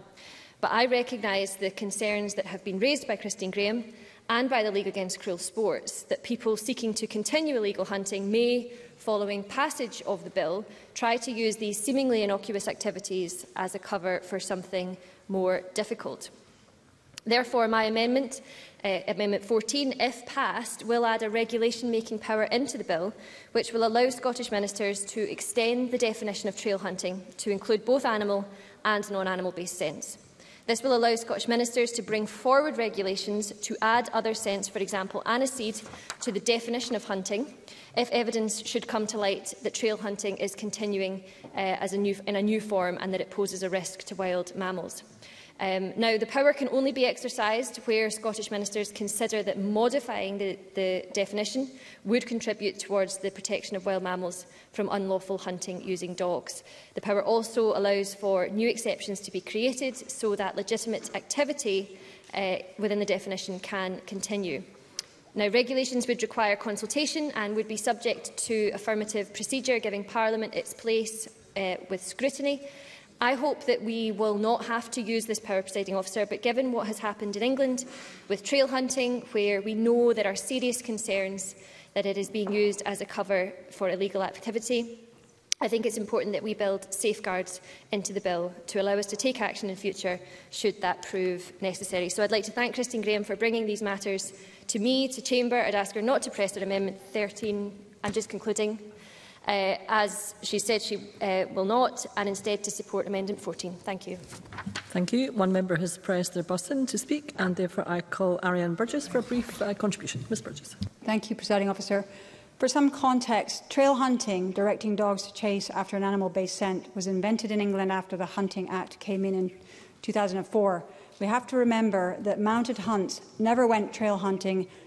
until that was the only way that they could get around the law. So the Scottish Government is right to preemptively ban it by making trail hunting an offence in Scotland. The Minister's Amendment 14 is very welcome as it gives Scottish ministers the power to change the definition of trail hunting if related forms of this activity begin to be used as a loophole for fox hunting. But why not prevent it prevent this from the start? Why wait until after the fact and have to change the legislation later? widening the definition of trail hunting now won't negatively impact on anyone except those determined to continue hunting with packs of dogs. Yes. Christine Graham.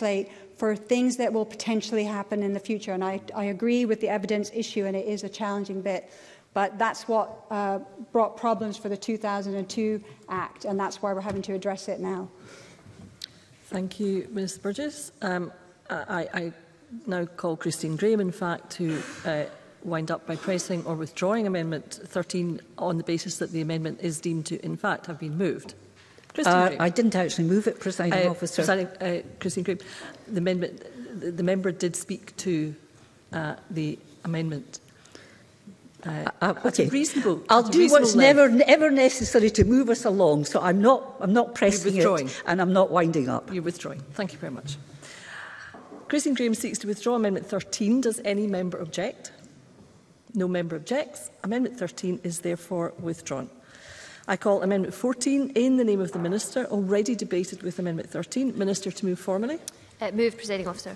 Thank you. The question is that Amendment uh, 14 uh, be agreed to. Are we all agreed? Yes. The Parliament is not agreed. There will be a division. Members should cast their vote now.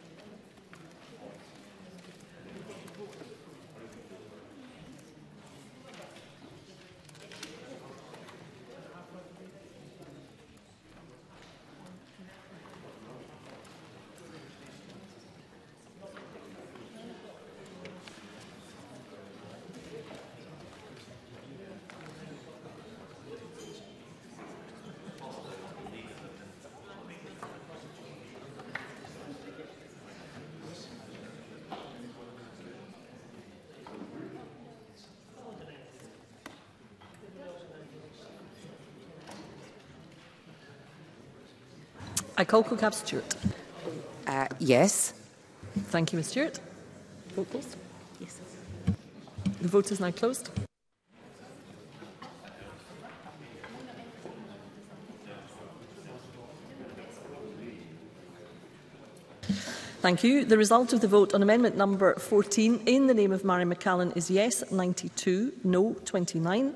There were no abstentions. The amendment is therefore agreed. I now move to Group 9, Exception for Training Dogs. I call Amendment 97 in the name of Rachel Hamilton in a group on its own, and I call Rachel Hamilton to move and to speak to Amendment 97. Thank you, Presiding Officer. Amendment 97 in my name creates an exception to allow the use of more than two dogs when training a juvenile dog for a lawful hunting purpose. It also outlines conditions within this exception which must be met in order to make such an activity lawful.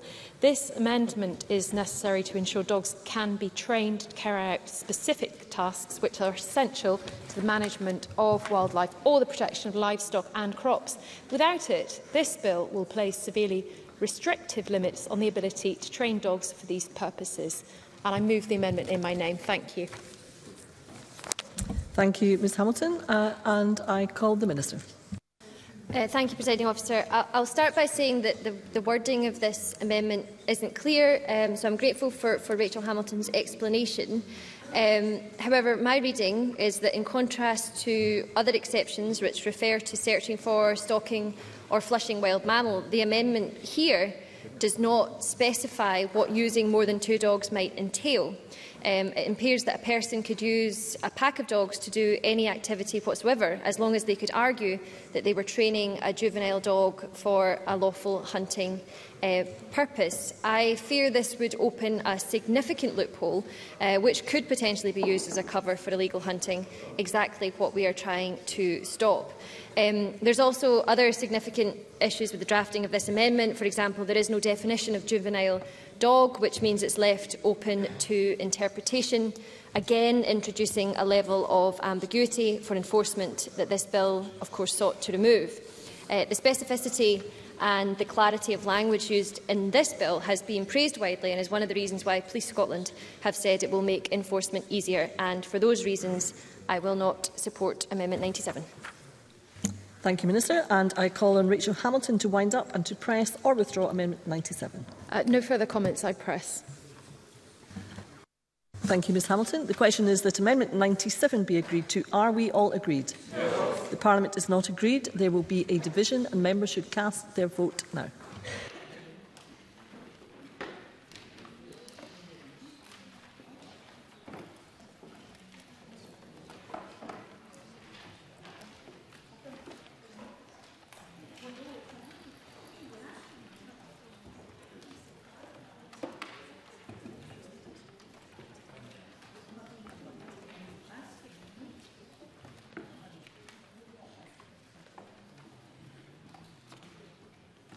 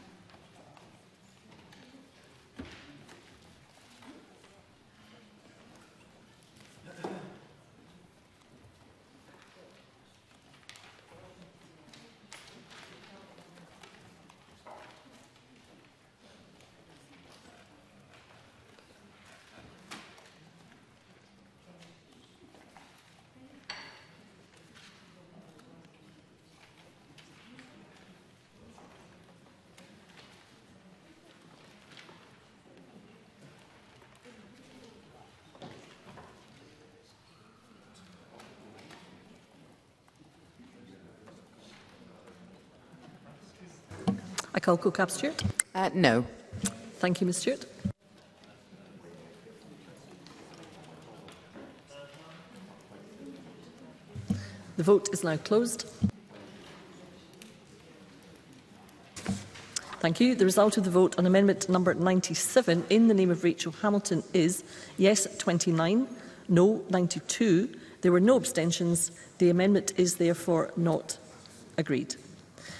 We now move to Group 10 on court orders. I call Amendment 15 in the name of Ariane Burgess, grouped with Amendment 16, 98, 99,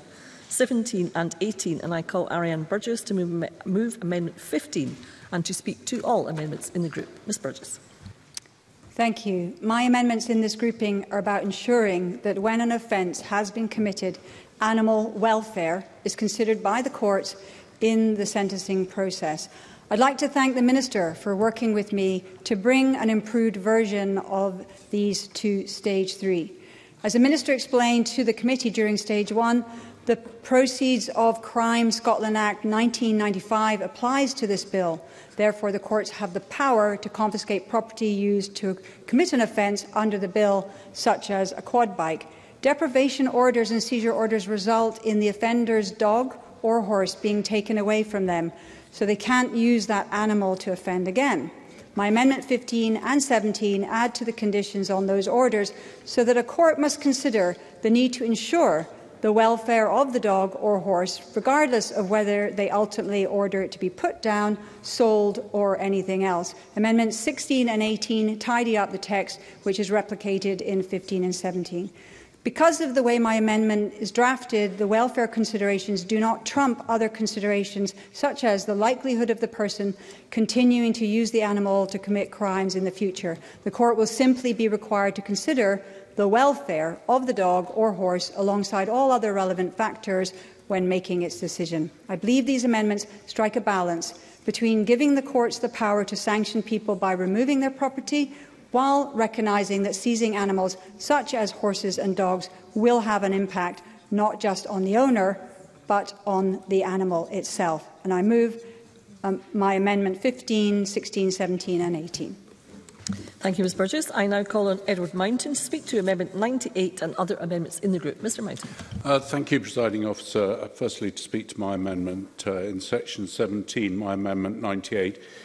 ins inserts a clause which would ensure that the Court must state a reason for issuing a disqualification order. In the legislation as drafted, it has to give a reason why it does not uh, uh, issue a disqualification order, I think it's fair and equitable that they give a reason why as well. My Amendment 99 uh, seeks to give some guidance to the court on what would be a reasonable period of disqualification from owning a dog or horse. I don't believe that just leaving it open-ended is fair. I think first and second offences, in my amendment suggests, would be up to 18 months, a third offence three years, and a fourth at the discretion of the court. I believe that sliding scale uh, allows people who perhaps for a first offence and didn't mean for that offence to occur wouldn't be precluded from owning a dog forever. That would be a severe blow to many people. On Ariane Burgess's uh, uh, amendments, I'd be interested to hear the Minister's comments, particularly on those, because there is uh, within the bill uh, a certain description on uh, disqualification and destruction of, of horses and, and dogs. And I would like to hear if the Minister feels those are sufficient because the welfare of those animals must be paramount. Presiding officer. Thank you, Mr Mountain. And one other member has pressed to speak, so I call on Colin Smith for a brief contribution. Mr Smith. Thank you, President Officer. I support amendments 15 and 17 and the subsequent consequential amendments 16 and 18 in the name of Ariana Burgess. The bill in its current form only refers to the destruction of a dog or horse and it is important that the welfare of these animals is also considered in the case of a sale or another disposal ordered by the court, not only those resulting in the destruction of the animal as is currently drafted. I therefore support these amendments. Amendment 98 and 99 in the name of Edward Moulton, I believe, seeks to constrain the discretion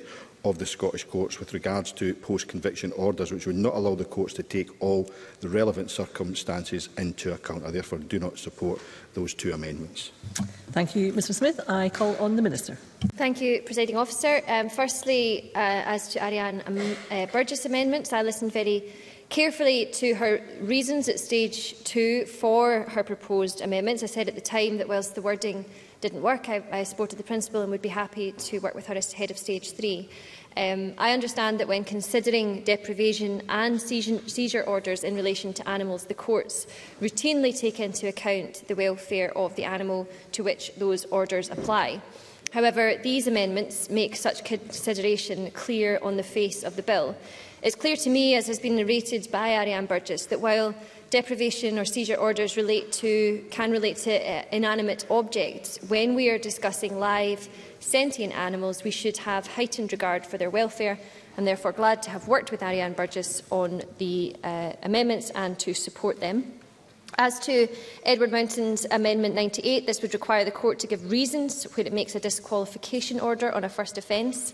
Uh, this amendment is unnecessary as the courts generally provide reasons for any penalty or sentence that they choose to impose. However, with that being said, I know that the Animal Health and Welfare Scotland Act 2006 uh, uh, also imposes a duty on the courts to give their reasons for issuing a disqualification order. And so, uh, on this occasion, I am content to support this amendment. However, I cannot similarly support Edward Mountain's Amendment 99, which um, seeks to limit the period for which a disqualification order may be granted in various circumstances. Uh, as Colin Smith said, this would unnecessarily and unjustifiably fetter the discretion of the court when considering the appropriate period of time for which an order should be given effect. There may be many circumstances in which a long period of disqualification is appropriate, even for a first offence, and in any case, a number of factors will be taken into account by the court when considering the appropriate sentence, and it's not for us to fetter the court's discretion in that regard. Thank you. Thank you, Minister. I call on Ariane Burgess to wind up and to press or withdraw Amendment 15 Thank you.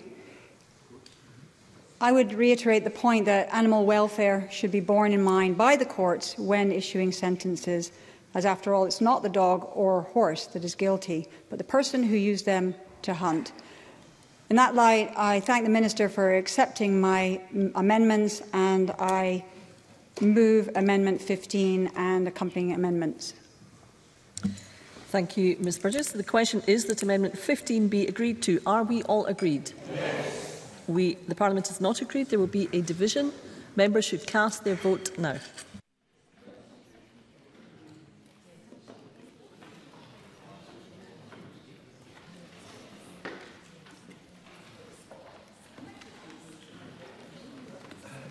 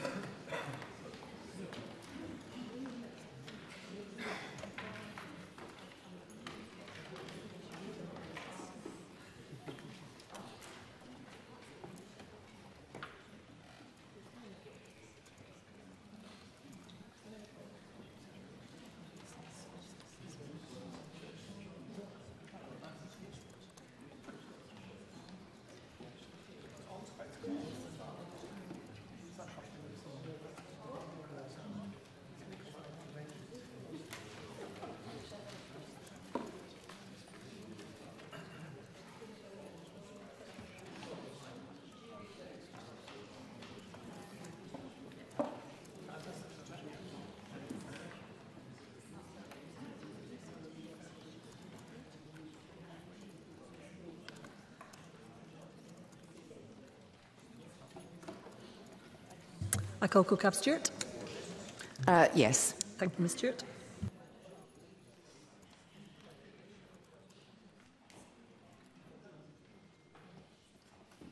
The vote is now closed.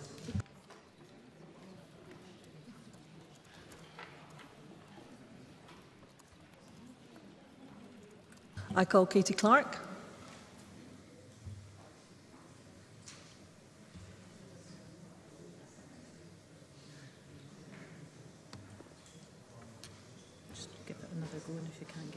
call Katie Clark.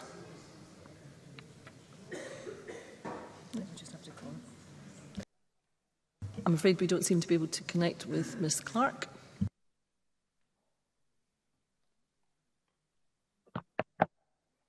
I would have voted yes. Oh, Ms Clark would have voted yes. Has that been? That will be recorded.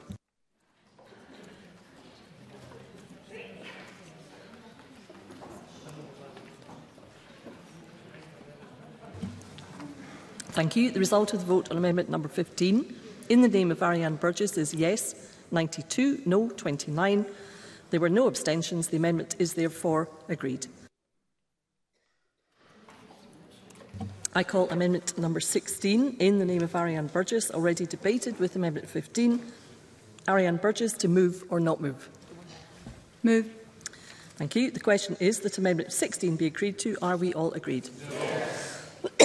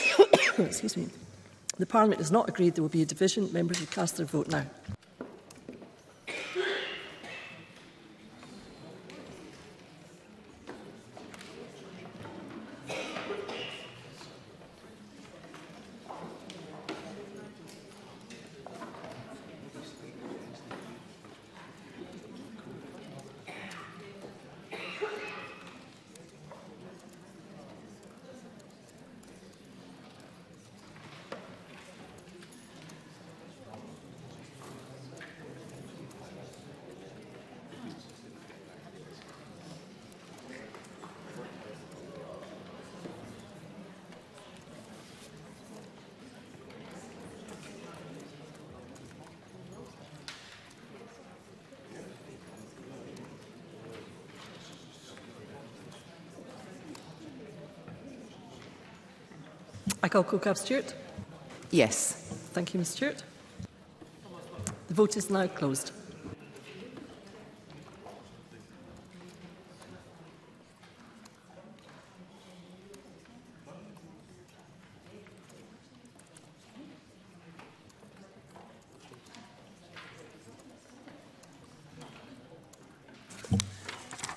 Thank you. The result of the vote on amendment number 16, in the name of Ariane Burgess is yes 91, no 29. There were no abstentions.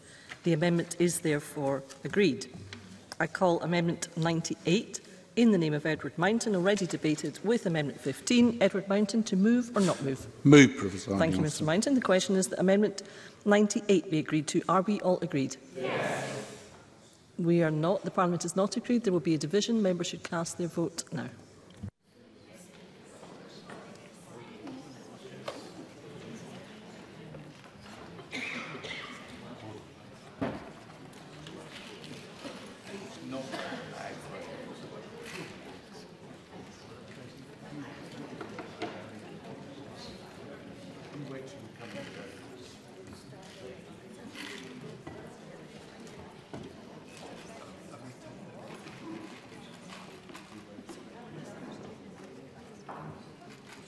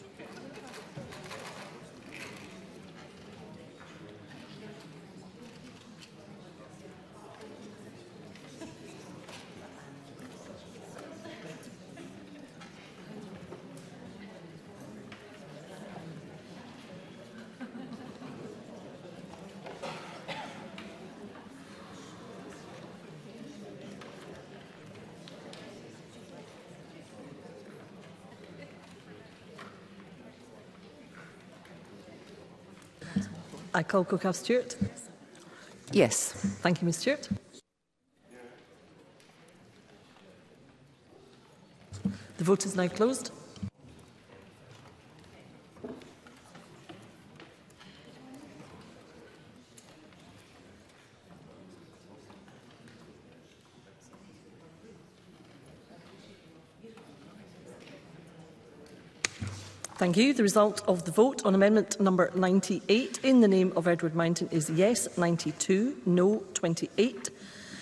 There were no abstentions. The amendment is therefore agreed.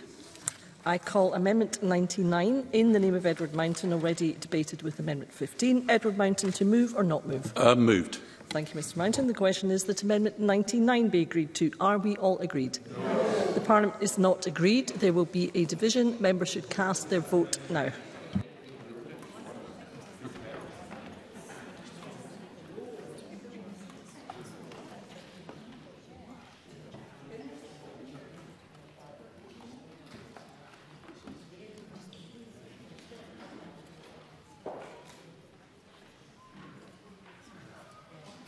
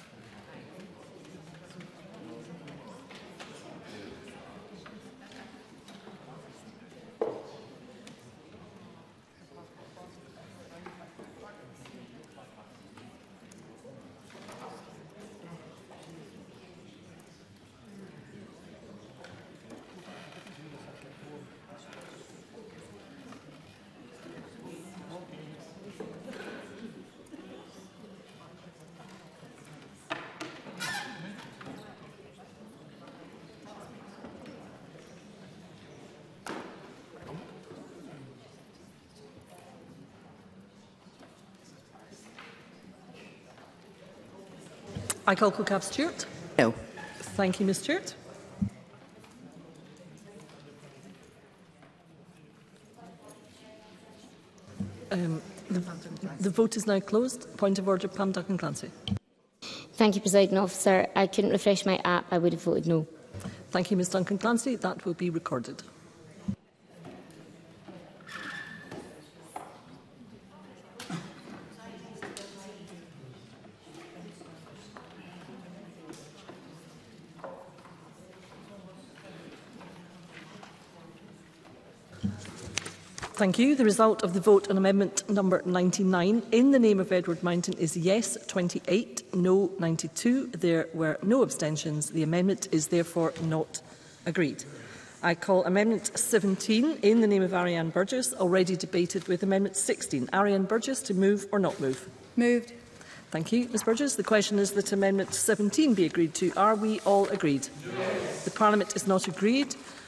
There will be a division and members should cast their vote now.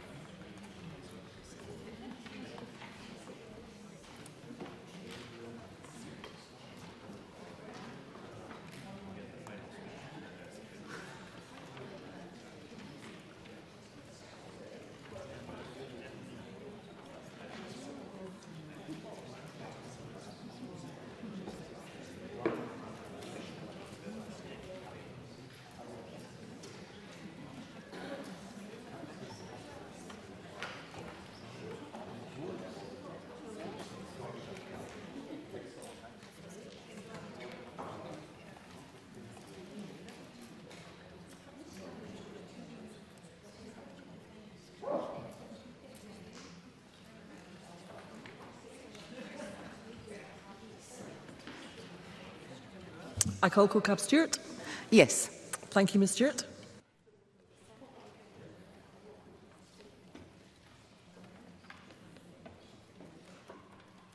The vote is now closed.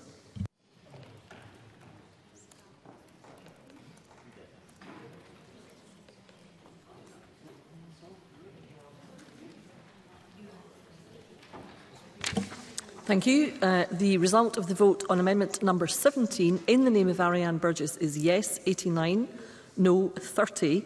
There were no abstentions. The amendment is therefore agreed. I call Amendment 18 in the name of Ariane Burgess, already debated with Amendment 15. Ariane Burgess to move or not move? Moved. Thank you, Ms Burgess. The question is that Amendment 18 be agreed to. Are we all agreed? Yes. The Parliament is not agreed. There will be a division. Members should cast their vote now.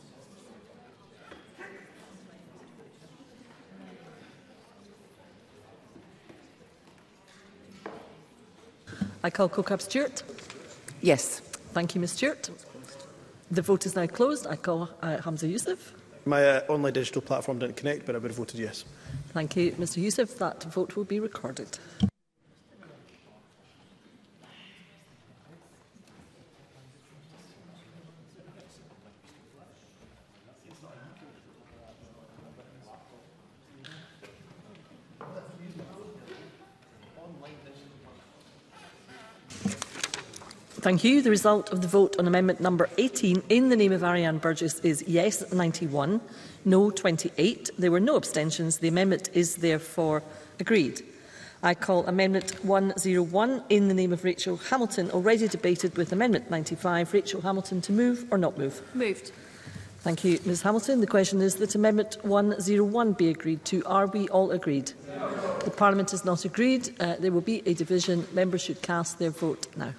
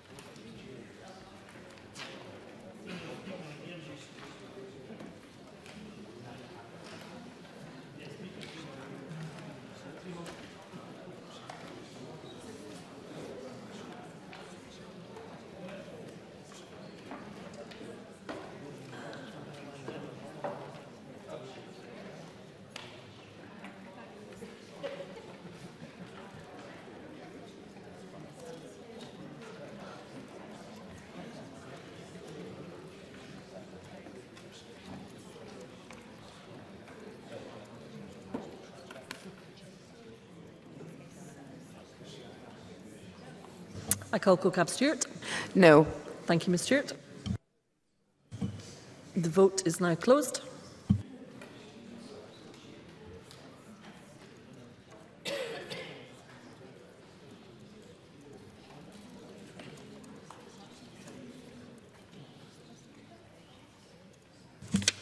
Thank you. The result of the vote on amendment number 101 in the name of Rachel Hamilton is yes 30, no 89, There were no abstentions. The amendment is therefore not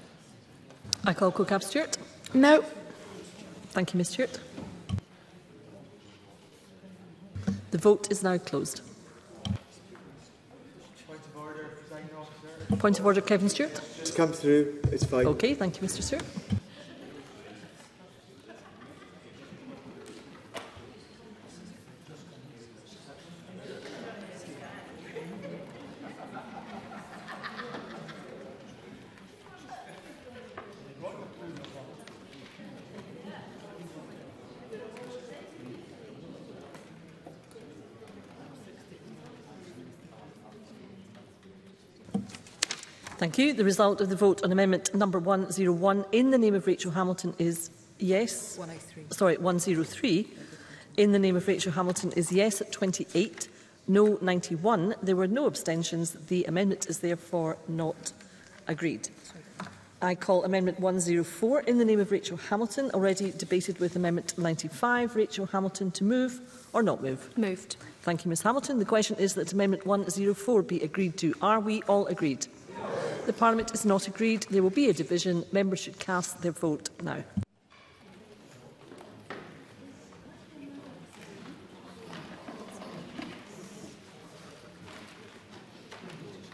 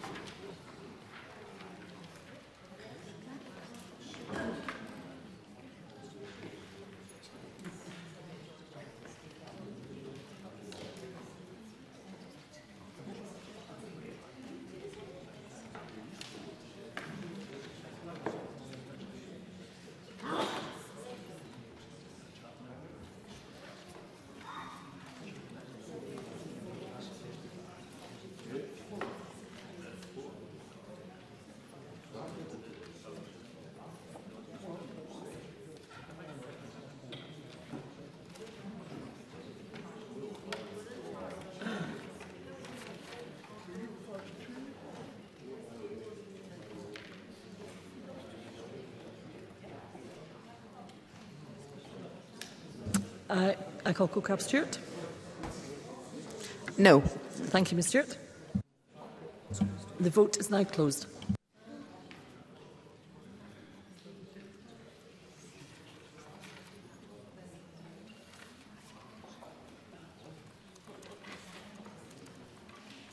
Thank you. The result of the vote on amendment number 104 in the name of Rachel Hamilton is yes 29. No, 91. There were no abstentions. The amendment is therefore not agreed. I call Amendment 100 in the name of Rachel Hamilton, already debated with Amendment 95. Rachel Hamilton to move or not move? Moved. Thank you, Ms Hamilton. The question is that Amendment 100 be agreed to. Are we all agreed? Yes. The Parliament has not agreed. There will be a division and members should cast their vote now.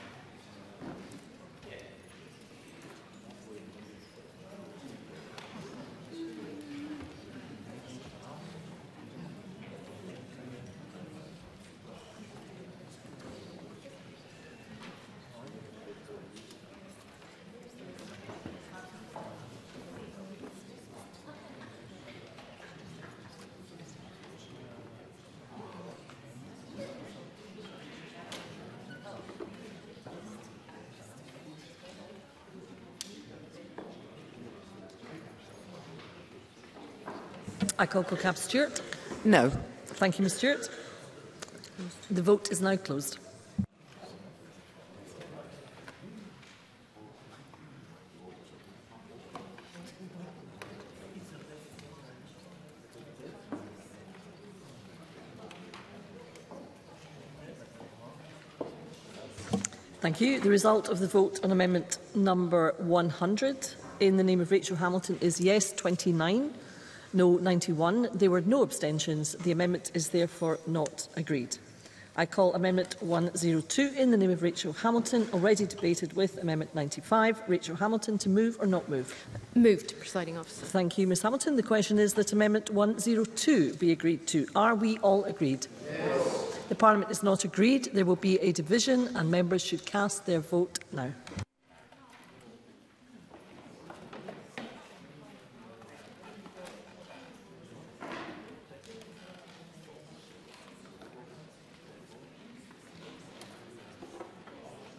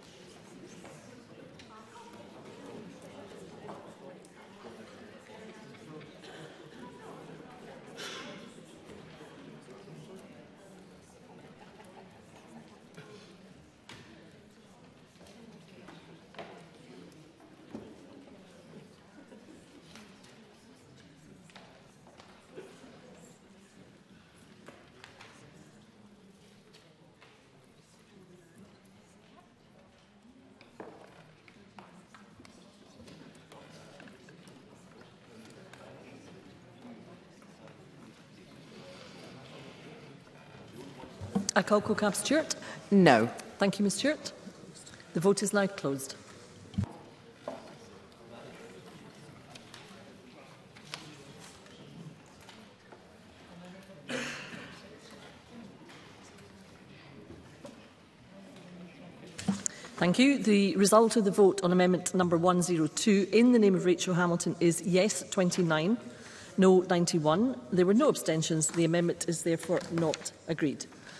Uh, I now turn to the last uh, group, which is Group 11 on Crown application. I call Amendment 105 in the name of Ariane Burgess, grouped with Amendment 106, and I call on Ariane Burgess to move Amendment 105 and to speak to both amendments in the group. Ms Burgess.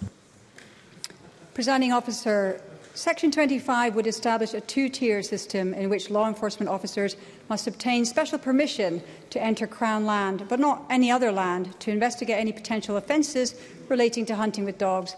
The law should apply equally to everyone, but Section 25 creates a loophole that could make it easier for any illegal hunting activities on Crown land to evade prosecution, be that by persons in service to the Crown or anybody hunting with dogs on Crown land. The ferret revealed that registered fox hunts have recently been allowed on land owned by Forestry and Land Scotland, which is Crown land. Police must be able to enter onto that land to investigate any reports of fox hunting or other suspicious hunting with dogs. They shouldn't be impeded by requir requiring consent from the relevant authority. When it comes to protecting animal welfare, there should be no loopholes, not even for the Crown. I urge members to support my Amendment 105 to remove Section 25, and my Amendment 106 is consequential on removing Section 25. I move my Amendment 105. Thank you, Ms Burgess, and I call the Minister. Thank you, Presiding Officer. Um, I understand Ariane Burgess's concerns and the reasons why she has lodged these amendments, and I have carefully assessed the effect of the amendments and whether there's any need for them.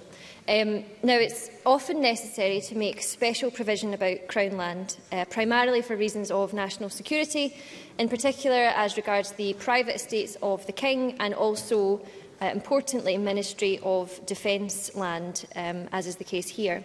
And I should be clear that the existing requirement for Police Scotland to gain consent before entering Crown land does not prohibit entry, but simply sets a precondition for entry. Uh, Ms Burgess' amendment, if passed, would remove the requirement for Police Scotland to have permission to enter Crown land, including MOD land, to investigate offences under the bill. Um, I don't think that seeking authorisation from the body responsible for the land would undermine the operation of the bill. Uh, moreover, the provisions in the bill reflect the, the careful balancing exercise of ensuring the effective investigation of offences on the one hand, while not impinging on security uh, and safety considerations, uh, for example, uh, military exercises being carried out on MOD land. Um, the provisions in the bill as they stand are in keeping with that contained in other wildlife and forestry legislation, such as the Wildlife Countryside Act 1981, Deer Scotland Act 96, and the Forestry and Land Management Scotland Act 2018 and they mirror the approach taken in other acts passed more recently by the Scottish Parliament, including the Hate Crime and Public Order Scotland Act of 21 and the Fireworks and Pyrotechnics Scotland Act of 2022. I'd also point out that the Protection of Wild Mammals Scotland Act 2002, the bill we are seeking to replace, that did not bind the Crown in any way So today's bill represents a significant shift towards applying provisions to Crown land and for all those reasons I cannot support the amendments. Thank you, Minister. I call on Ariane Burgess to wind up and to press or withdraw Amendment 105. Ms Burgess.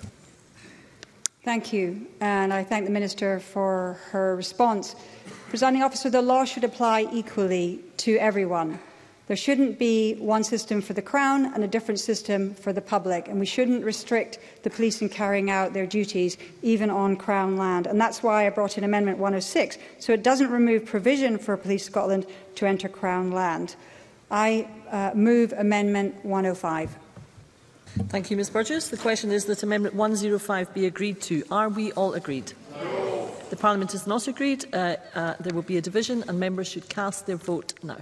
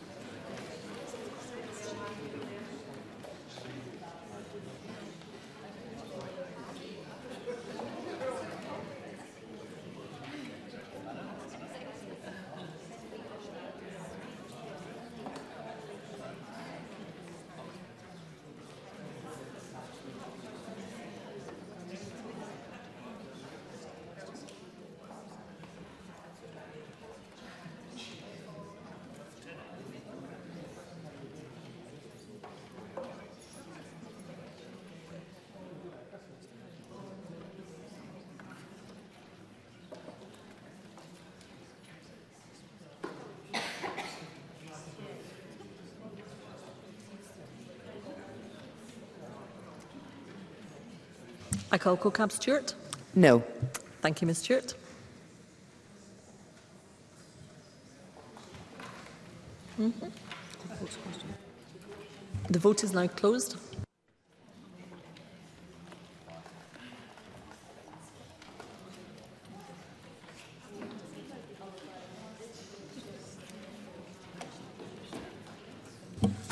Thank you. The result of the vote on Amendment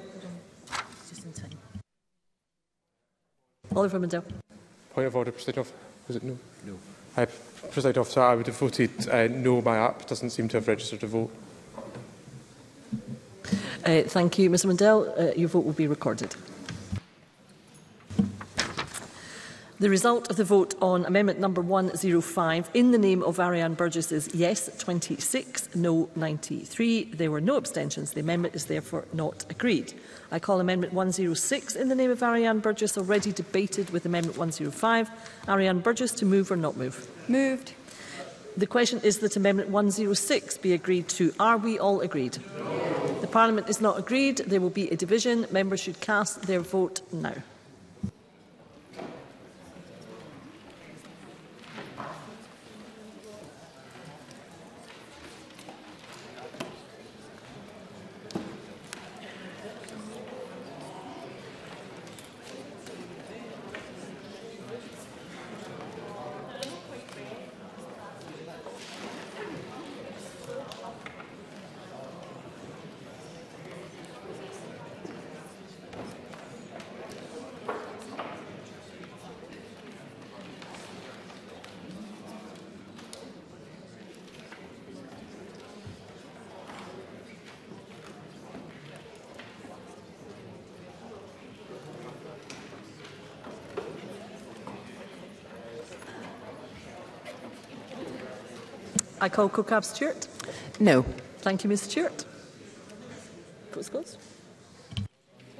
The vote is now closed.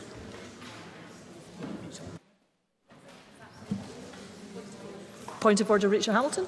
Thank you. I would have voted no. My app didn't work. Thank you, Ms Hamilton. Your vote will be recorded.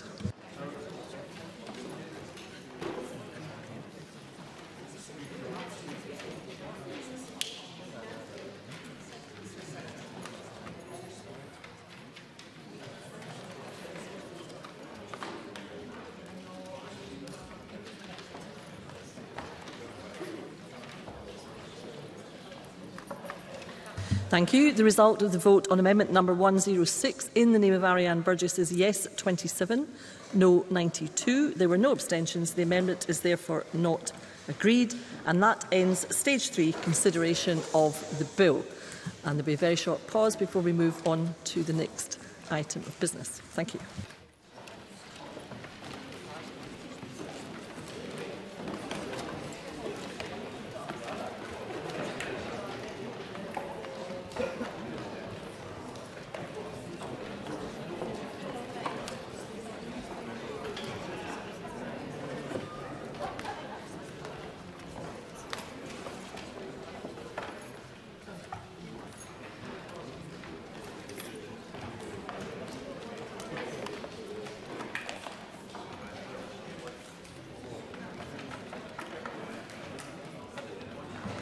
As members will be aware, at this point in the proceedings, I am required under standing orders to decide whether or not, in my view, any provision of the bill relates to a protected subject matter, that is, whether it modifies the electoral system and franchise for Scottish parliamentary elections.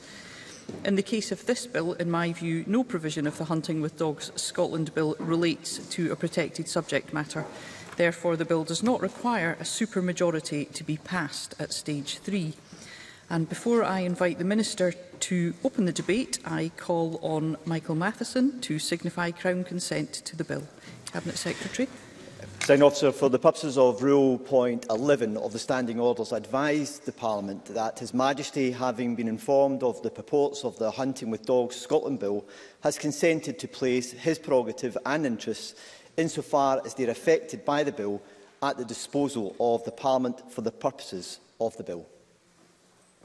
Thank you. We move on to the next item of business, which is a debate on motion 7600 in the name of Mary McCallan on Hunting with Dogs Scotland Bill at Stage 3. I invite members who wish to speak in the debate to press their request to speak buttons. And I call on Mary McCallan to speak to and move the motion.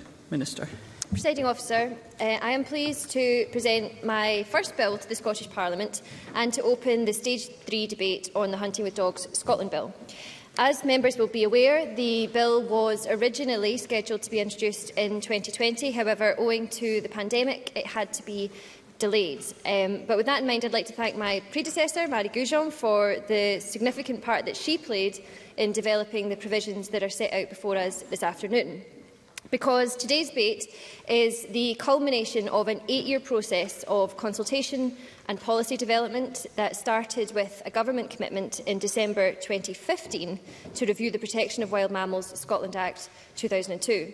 It included an independent review of the 2002 Act undertaken by Lord Bonamy and two public consultations which between them received over 25,000 responses. The large number of responses clearly demonstrates that there is and continues to be a significant level of public interest in this legislation. I've always been uh, very mindful of that and when I took over responsibility for this policy uh, I committed to listening to all views and seeking consensus where possible. Over the last year and a half, I've met with a wide range of organisations and individuals, both supportive and with concerns about the proposals. As far as it has been possible, I've tried to address those concerns in both the bill as introduced and in amendments both tabled and accepted. I know that uh, the Rural Affairs, Islands and Natural Environment Committee has done similarly, and I'd like to thank it for its careful scrutiny and consideration of the bill. I'm grateful too for the support that I've received from MSPs from across the Chamber on my amendments and I'd like to thank members of all parties uh, with whom I've had productive discussions throughout the bill's passage. Uh, that's led to agreement on constructive amendments that I have no doubt have improved the bill. Um, now, there is no doubt that there has been a clear cultural shift in our attitude towards wildlife over the last few decades.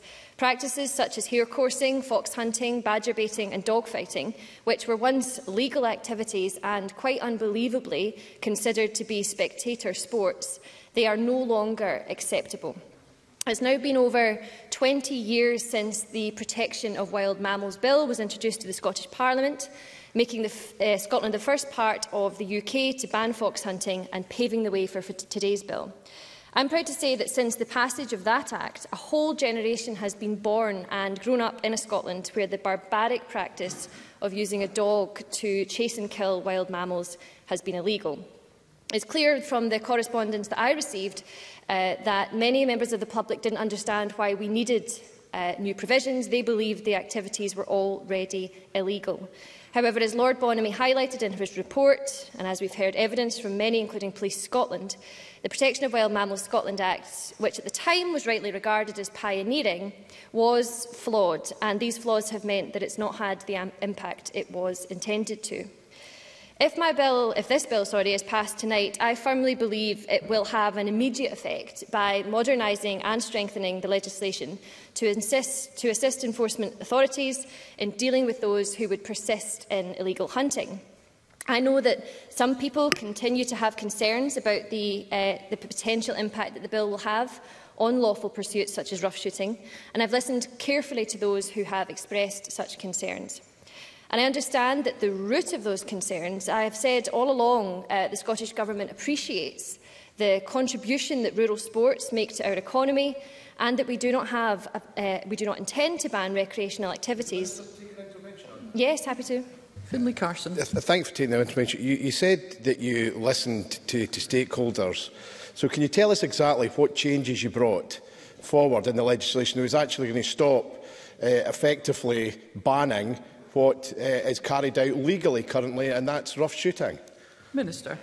Presiding officer, I have had extensive engagement with stakeholders on all of the aspects of the bill and probably none more so than on rough shooting, not least in the additional scrutiny session that Finlay Carson as convener conducted. And the purpose of that has been to explain to stakeholders how it can still take place within the bill and equally I've committed to working with industry on guidance going forward so that they understand what to expect following its passage.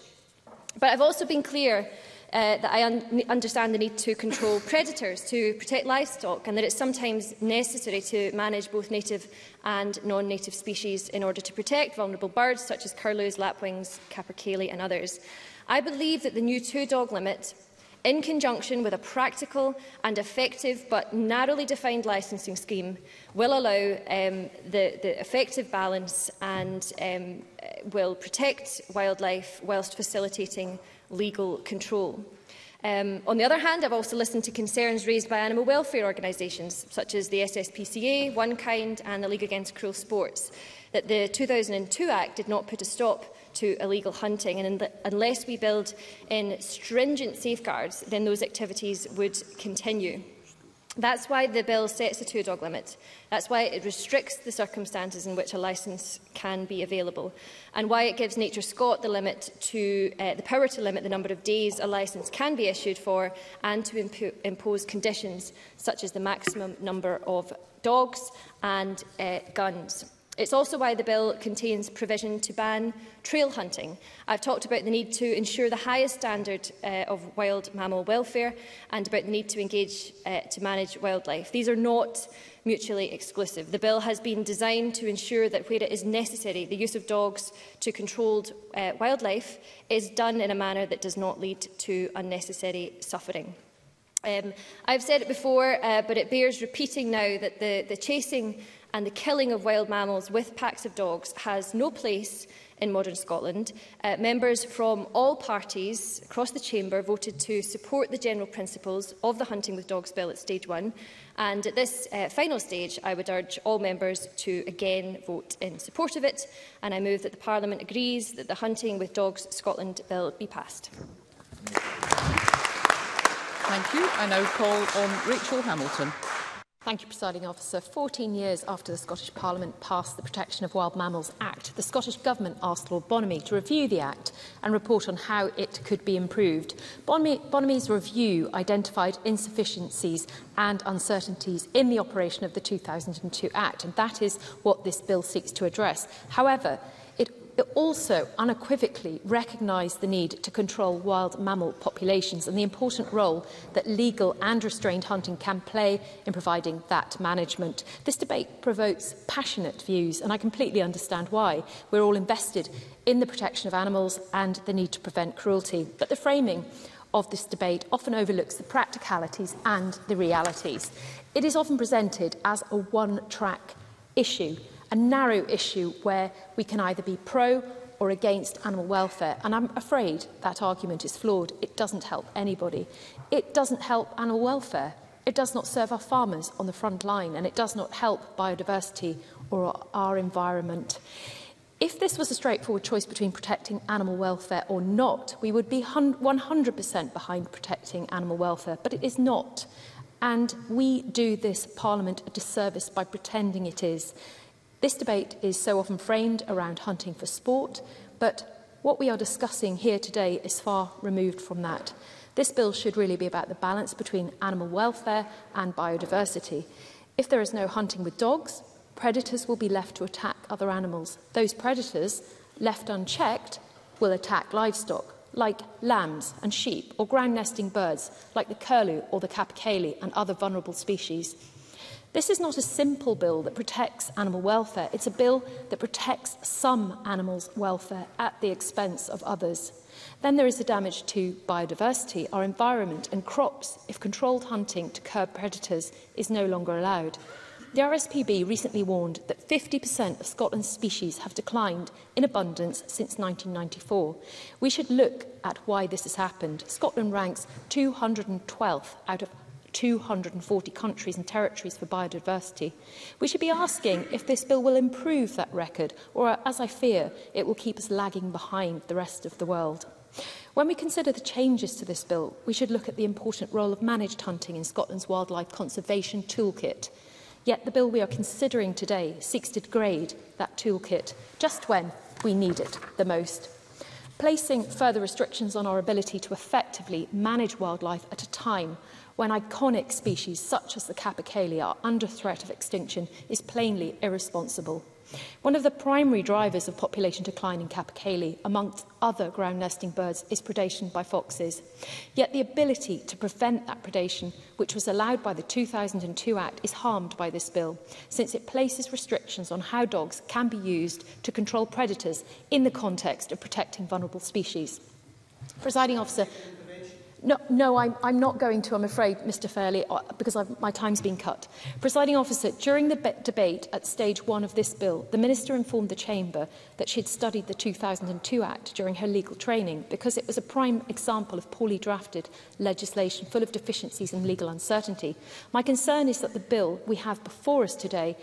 will be studied by ecologists in years to come as a bill that ignored the views of experts and pinned the final nail in the coffin for many of Scotland's endangered endangered species. It is a bill that ignores the realities of hunting with dogs outlined by organisations such as the SEA, BASC e and the NFUS and others, while legislating on matters which seem to be misunderstood by key decision makers. As I've mentioned during Stage 1 proceedings, animal welfare has been at the heart of this debate. I've already discussed the havoc wrought upon vulnerable species and the NFUS have voiced concern about the effects of this bill on the ability of farmers to protect livestock. Presiding officer, I will come to a close because I know time is tight. The Scottish Government may have been right to revisit the 2002 Protections of Wild Mammals Act off the back of the Bonamy Review, but it has been done in a way that has typically of this SNP government ignored the evidence around the issue, with the views of countless stakeholders and rural Scotland ignored. We don't have faith in this bill. It will not help animal welfare, and we fear it will have a negative impact on biodiversity, our natural environment and those who protect it, support and look after it. Thank you.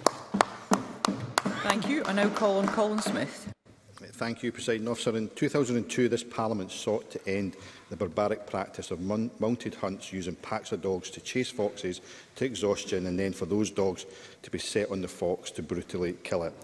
Two decades on, some hunts continue to ride roughshod over the letter and the spirit of that ban. Today was a chance to, to right this wrong, to scrap the loopholes being exploited, to end the cruelty of hunting with packs of dogs once and for all. But sadly, this bill does not do that. It won't close all the loopholes that exist. It won't end the use of packs of dogs. It merely licenses them. But, presiding officer, you cannot license cruelty. You can't say on the one hand, as the SNP do, that using a pack of dogs is cruel because it increases the risk of dogs chasing and killing a wild mammal, but on the other hand say we're going to continue to allow packs of dogs to be used if the hunt has a licence. Handing out a licence won't make that any less cruel.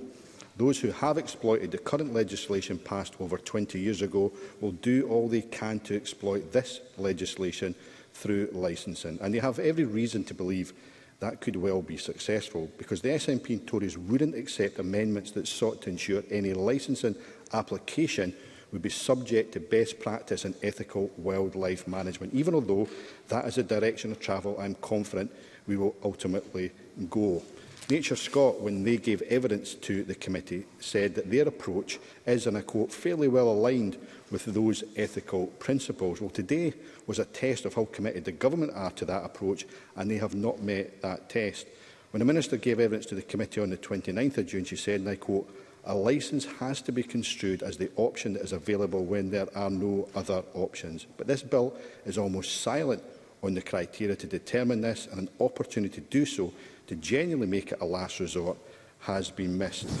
The bill also contains a number of cruel exemptions, such as continuing to allow birds of prey as a method of killing, which is no less cruel than using dogs to kill, and allows the continuation of the use of dogs below ground to control wild mammals. The bill may well limit the number of dogs below ground to one, but if it's cruel to use more than one dog below ground, then it's cruel to use any number of dogs below ground. It just lacks credibility to say you can control a dog below ground that won't see you or won't hear you. And the government now admit this with the revised explanatory notes to the bill.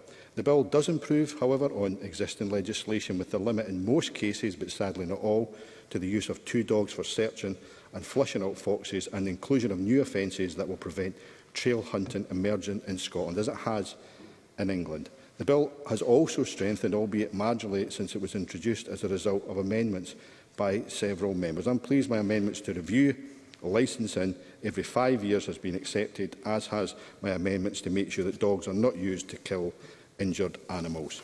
President officer, ending hunting with packs of dogs was unfinished business when this bill was first proposed.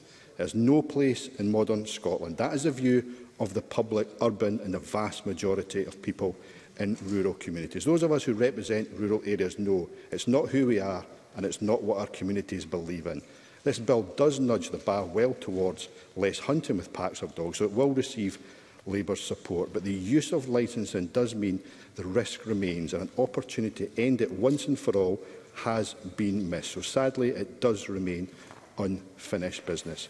President Officer, I want to end by thanking those who have contributed to this bill, those who play such an important part living and working in our countryside, including those tasked with managing our land and the many animal welfare charities such as League Against Cruel Sports, One Kind and others who give a voice to those who can't speak for themselves and campaign with such passion day in and day out. I'm really proud of that campaign, what they do to improve animal welfare, but we have some way to go. So my advice to them is keep up the fight. Thank you. Thank you. I now call on Ariane Burgess. Thank you. Presiding officer, for the mass, vast majority of the Scottish public, it's unacceptable that fox hunting still takes place in our country. Most of us believed fox hunting was banned just over 20 years ago, but loopholes in the law have enabled fox hunting to continue on horseback or on foot under the cover of legal activities. Today, these loopholes begin to narrow. The Hunting with Dogs Bill will help the police and courts prosecute illegal activity. It will give greater protection to foxes, hares, badgers and other wild animals. This is thanks to the tireless campaigning of animal welfare organisations such as League Against Cruel Sports, One Kind and Scottish Badgers.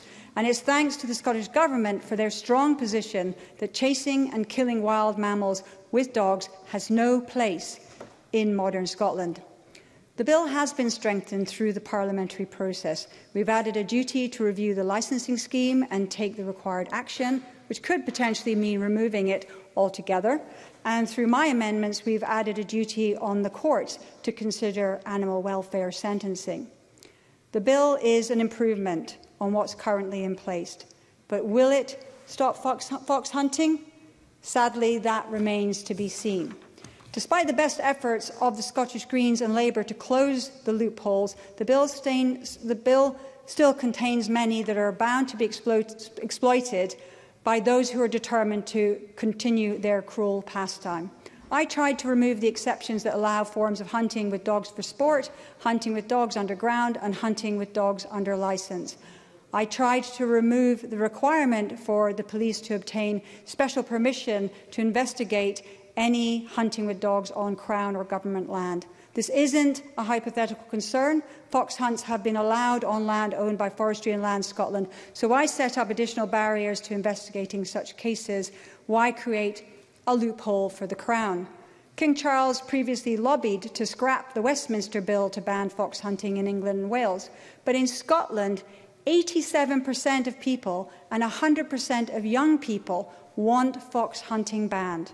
The Scottish Parliament and Scottish Government must be able to develop and pass our own laws to set the direction of travel for the Scotland that we want and the Scottish public want to see in the future without our democracy being undermined by interference from Westminster or by historic privileges for the monarchy.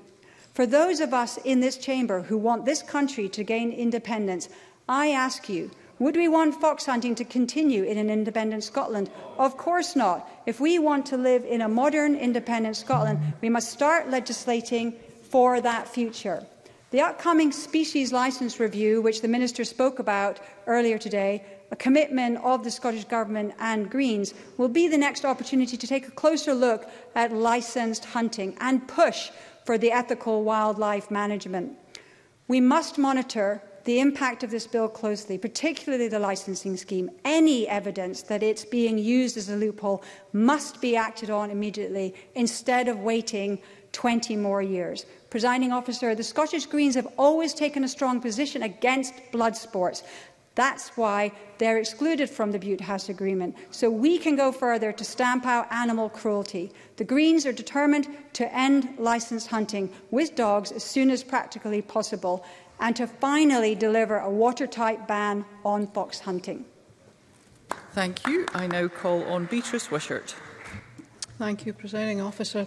As Deputy Convener of the RAIN Committee, I thank the clerks, the bill team, my committee colleagues and Convener Finlay Carson for their work on the bill. I'm grateful to all organisations and individuals who submitted evidence and provided briefings throughout the stages of this bill. Scottish Liberal Democrats support the aims of the Hunting with Dogs Scotland Bill to tighten up inconsistencies in the previous 2002 Act in a way that balances the need to protect animal welfare with the need for effective pest control in our rural and agricultural areas. Scottish Liberal Democrats are in favour of a workable licensing scheme based on evidence that enables the use of more than two dogs in certain circumstances.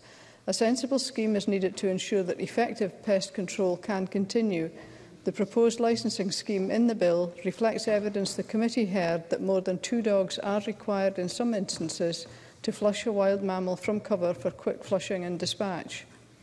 The initial, in, the initial draft stated licenses for management of wild mammals would be granted for 14 days within 14 consecutive days. From conversations with stakeholders, this appeared unnecessarily restrictive – I supported amendments from the Minister at Stage 2 to change this to 14 days in six consecutive months. I believe this gives the necessary flexibility to create a workable licensing scheme for pest control. Another aspect of the licences is that an application for a licence can be made by a sole landowner or jointly by a group of landowners or by the person who will carry out the hunting activity with permission of the landowner. A key consideration for the licence is the terrain where the activity will take place, so licences will correspond to a particular area. The requirement to get landowner permission for hunting with dogs was unclear to me in situations where there are joint landowners for one piece of land or where a piece of land is split between multiple landowners. I laid amendments at stage two to clarify this and was satisfied with the Minister's explanation that when interpreting legislation, the use of the singular, singular includes the plural and vice versa. This means that reference to getting permission from the landowner can be read as owners, depending on circumstances. And I'm grateful to the Minister for meeting with me to discuss the bill and for providing explanations of our amendments. At stage one, I called for criteria to be developed for the licensing scheme in collaboration with stakeholders – I welcome the Minister's commitment to working with stakeholders to create guidance on licensing. The committee, will, the committee also heard about rough shooting and concerns about how it will operate under the bill, and I welcome the Minister's commitment that she will continue to work with industry on this issue. We did not support amendments today which would further expand or restrict the current scope of the bill, and we believe it achieves its aims to balance priorities. We supported amendments creating obligations on Scottish ministers to conduct reviews every five years of the licensing scheme's operation and to report on Part 1 of the bill within two years. Reporting and analysis are important to ensure that the bill achieves its aims and licenses are workable.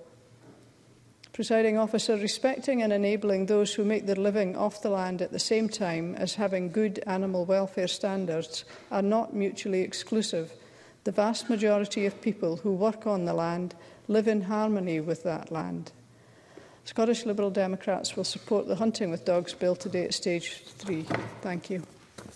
Thank you. We now move to winding up speeches and I call on Edward Mountain. Thank you, Presiding Officer. And as I've only been allowed two minutes for my closing, I, I'm afraid I will take no interventions. I have to say from the beginning I'm deeply disappointed by the final drafting of this bill following the stage three scrutiny. I don't support animals, animals cruelty, but what this bill has done is seriously limited our ability to manage wildlife, thus putting at risk the protection and enhancements of our native flora and fauna. The Parliament, in their wish to ban mounted hunts, has shown the true divide, I believe, between the countryside and urban voters. Here we are, spending hours discussing hunting with dogs, while the NHS is under pressure, school teachers are on strike, and our ferry service crumbles. It has also shown this whole debate how tone deaf the government is to the concerns of the countryside. I believe a bill fuelled by ideology and not practicality. Presiding officer, I cannot and will not support this bill. I'm afraid it will lead to a further disconnect between our countryside and, and the urban areas, a disconnect I believe this government will ultimately answer for. Thank you, Presiding Officer. Thank you. And I call on the Minister to wind up. Thank you, Presiding Officer. It has been a genuine privilege to work on the Hunting with Dogs Scotland Bill. And in closing, I'd like to thank all stakeholders with whom I've had extensive engagement. Uh, I'd also like to thank the Scottish Gov Government Bill team who have worked incredibly hard. Um, I hope they will take tonight off before we get back to Grousemere reform tomorrow. Um, no, I jest. But in all seriousness, there is a huge amount of work involved and I'd like to thank them for that. Um, Presiding officer, my motivation from the beginning has been to finally end illegal hunting with dogs in Scotland, which, as we know, has been illegal for 20 years, but despite best efforts, has persisted in Scotland. This bill, therefore, sought to close loopholes from previous legislation as well as take action to prevent others from opening, future-proofing, as it were, our ban. So in steering the bill through, my officials and I have sought from the very beginning to end legal activity, illegal activity once and for all, and that in the, in the pursuit of the highest animal welfare standards, but without unduly impinging on legal and legitimate activity, acknowledging the needs of farmers, land managers and environmental groups. And this has required widespread engagement with stakeholders and other MSPs. It's required close attention to the committee observations and the sessions they undertook. And it has acquired assessment ultimately of what are finally balanced issues. An example of that is one of the principal provisions in the bill, the, the two-dog limit. It puts the onus of control far more on the person purporting to hunt and it makes detection of a breach far more readily detectable by law enforcement. It's a significant step forward. But in instituting the two-dog limit, I would not ignore evidence of Lord Bonamy as regards terrain and that in certain circumstances two dogs would not be sufficient. So it's right that it applies consistently across the piece in all types of hunting and without exceptions applied to certain types as was called upon for rough shooting.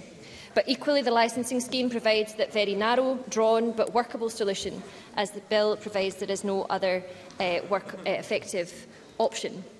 Likewise, I have sought to strike the, the, greatest possible progress on the issues of dogs underground. I heard the welfare concerns on one hand, uh, but equally the lack of alternative options on the other, and the risks of worsening welfare outcomes. Uh, therefore, I worked to find a solution which protected the welfare of dogs and the fox as far as possible, including by reducing the numbers of dogs to one, excluding mink from the exception and providing conditions on ensuring welfare.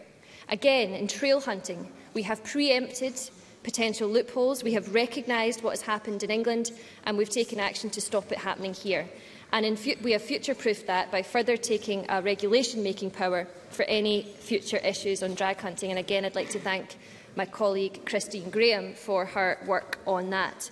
Um, Presiding officer, I'm a little disappointed that the, the opposition have uh, descended into a little bit of negativity in their co closing comments. But in contrast and an antidote to that, I would like to quote Lord Bonamy, who said, May I say that I regard the bill as a very well-crafted piece of legislation. It solves the problems that I identified about the loose and variable use of language It makes everything much clearer and simpler, which in itself should be a great incentive for better enforcement of the law, because the police and the Crown Office and Procurator Fiscal Service were struggling with the effective detection and prosecution of offenders. Um, Presiding officer, in, in closing, on the 13th of February 2002, our predecessors in this Parliament voted to pass the Protection of Wild Mammals Scotland Act 2002 and I hope that we will follow their lead today and vote to pass the Hunting with Dogs Scotland Bill. Thank you. Thank you. That concludes the debate on Hunting with Dogs Scotland Bill at stage three. It is now time to move on to the next item of business and I am minded to accept A motion without notice under Rule 11.2.4 to bring forward decision time to now. And I invite the Minister for Parliamentary Business to move the motion. I'm moved. Presiding officer. Thank you, Minister. The question is that decision time be brought forward to now. Are we all agreed? Yes. We are agreed. And there is one question to be put as a result of today's business. The question is that motion 7600 in the name of Mary McCallan on Hunting with Dogs Scotland Bill be agreed and members should cast their votes now.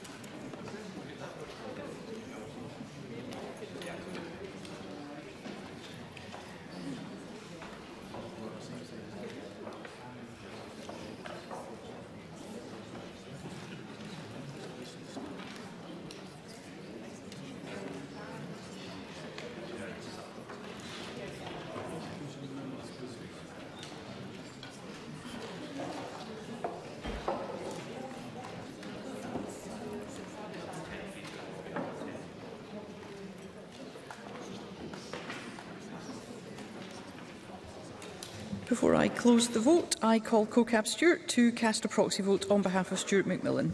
Uh, Stuart McMillan votes yes. Thank you. We'll ensure that's recorded.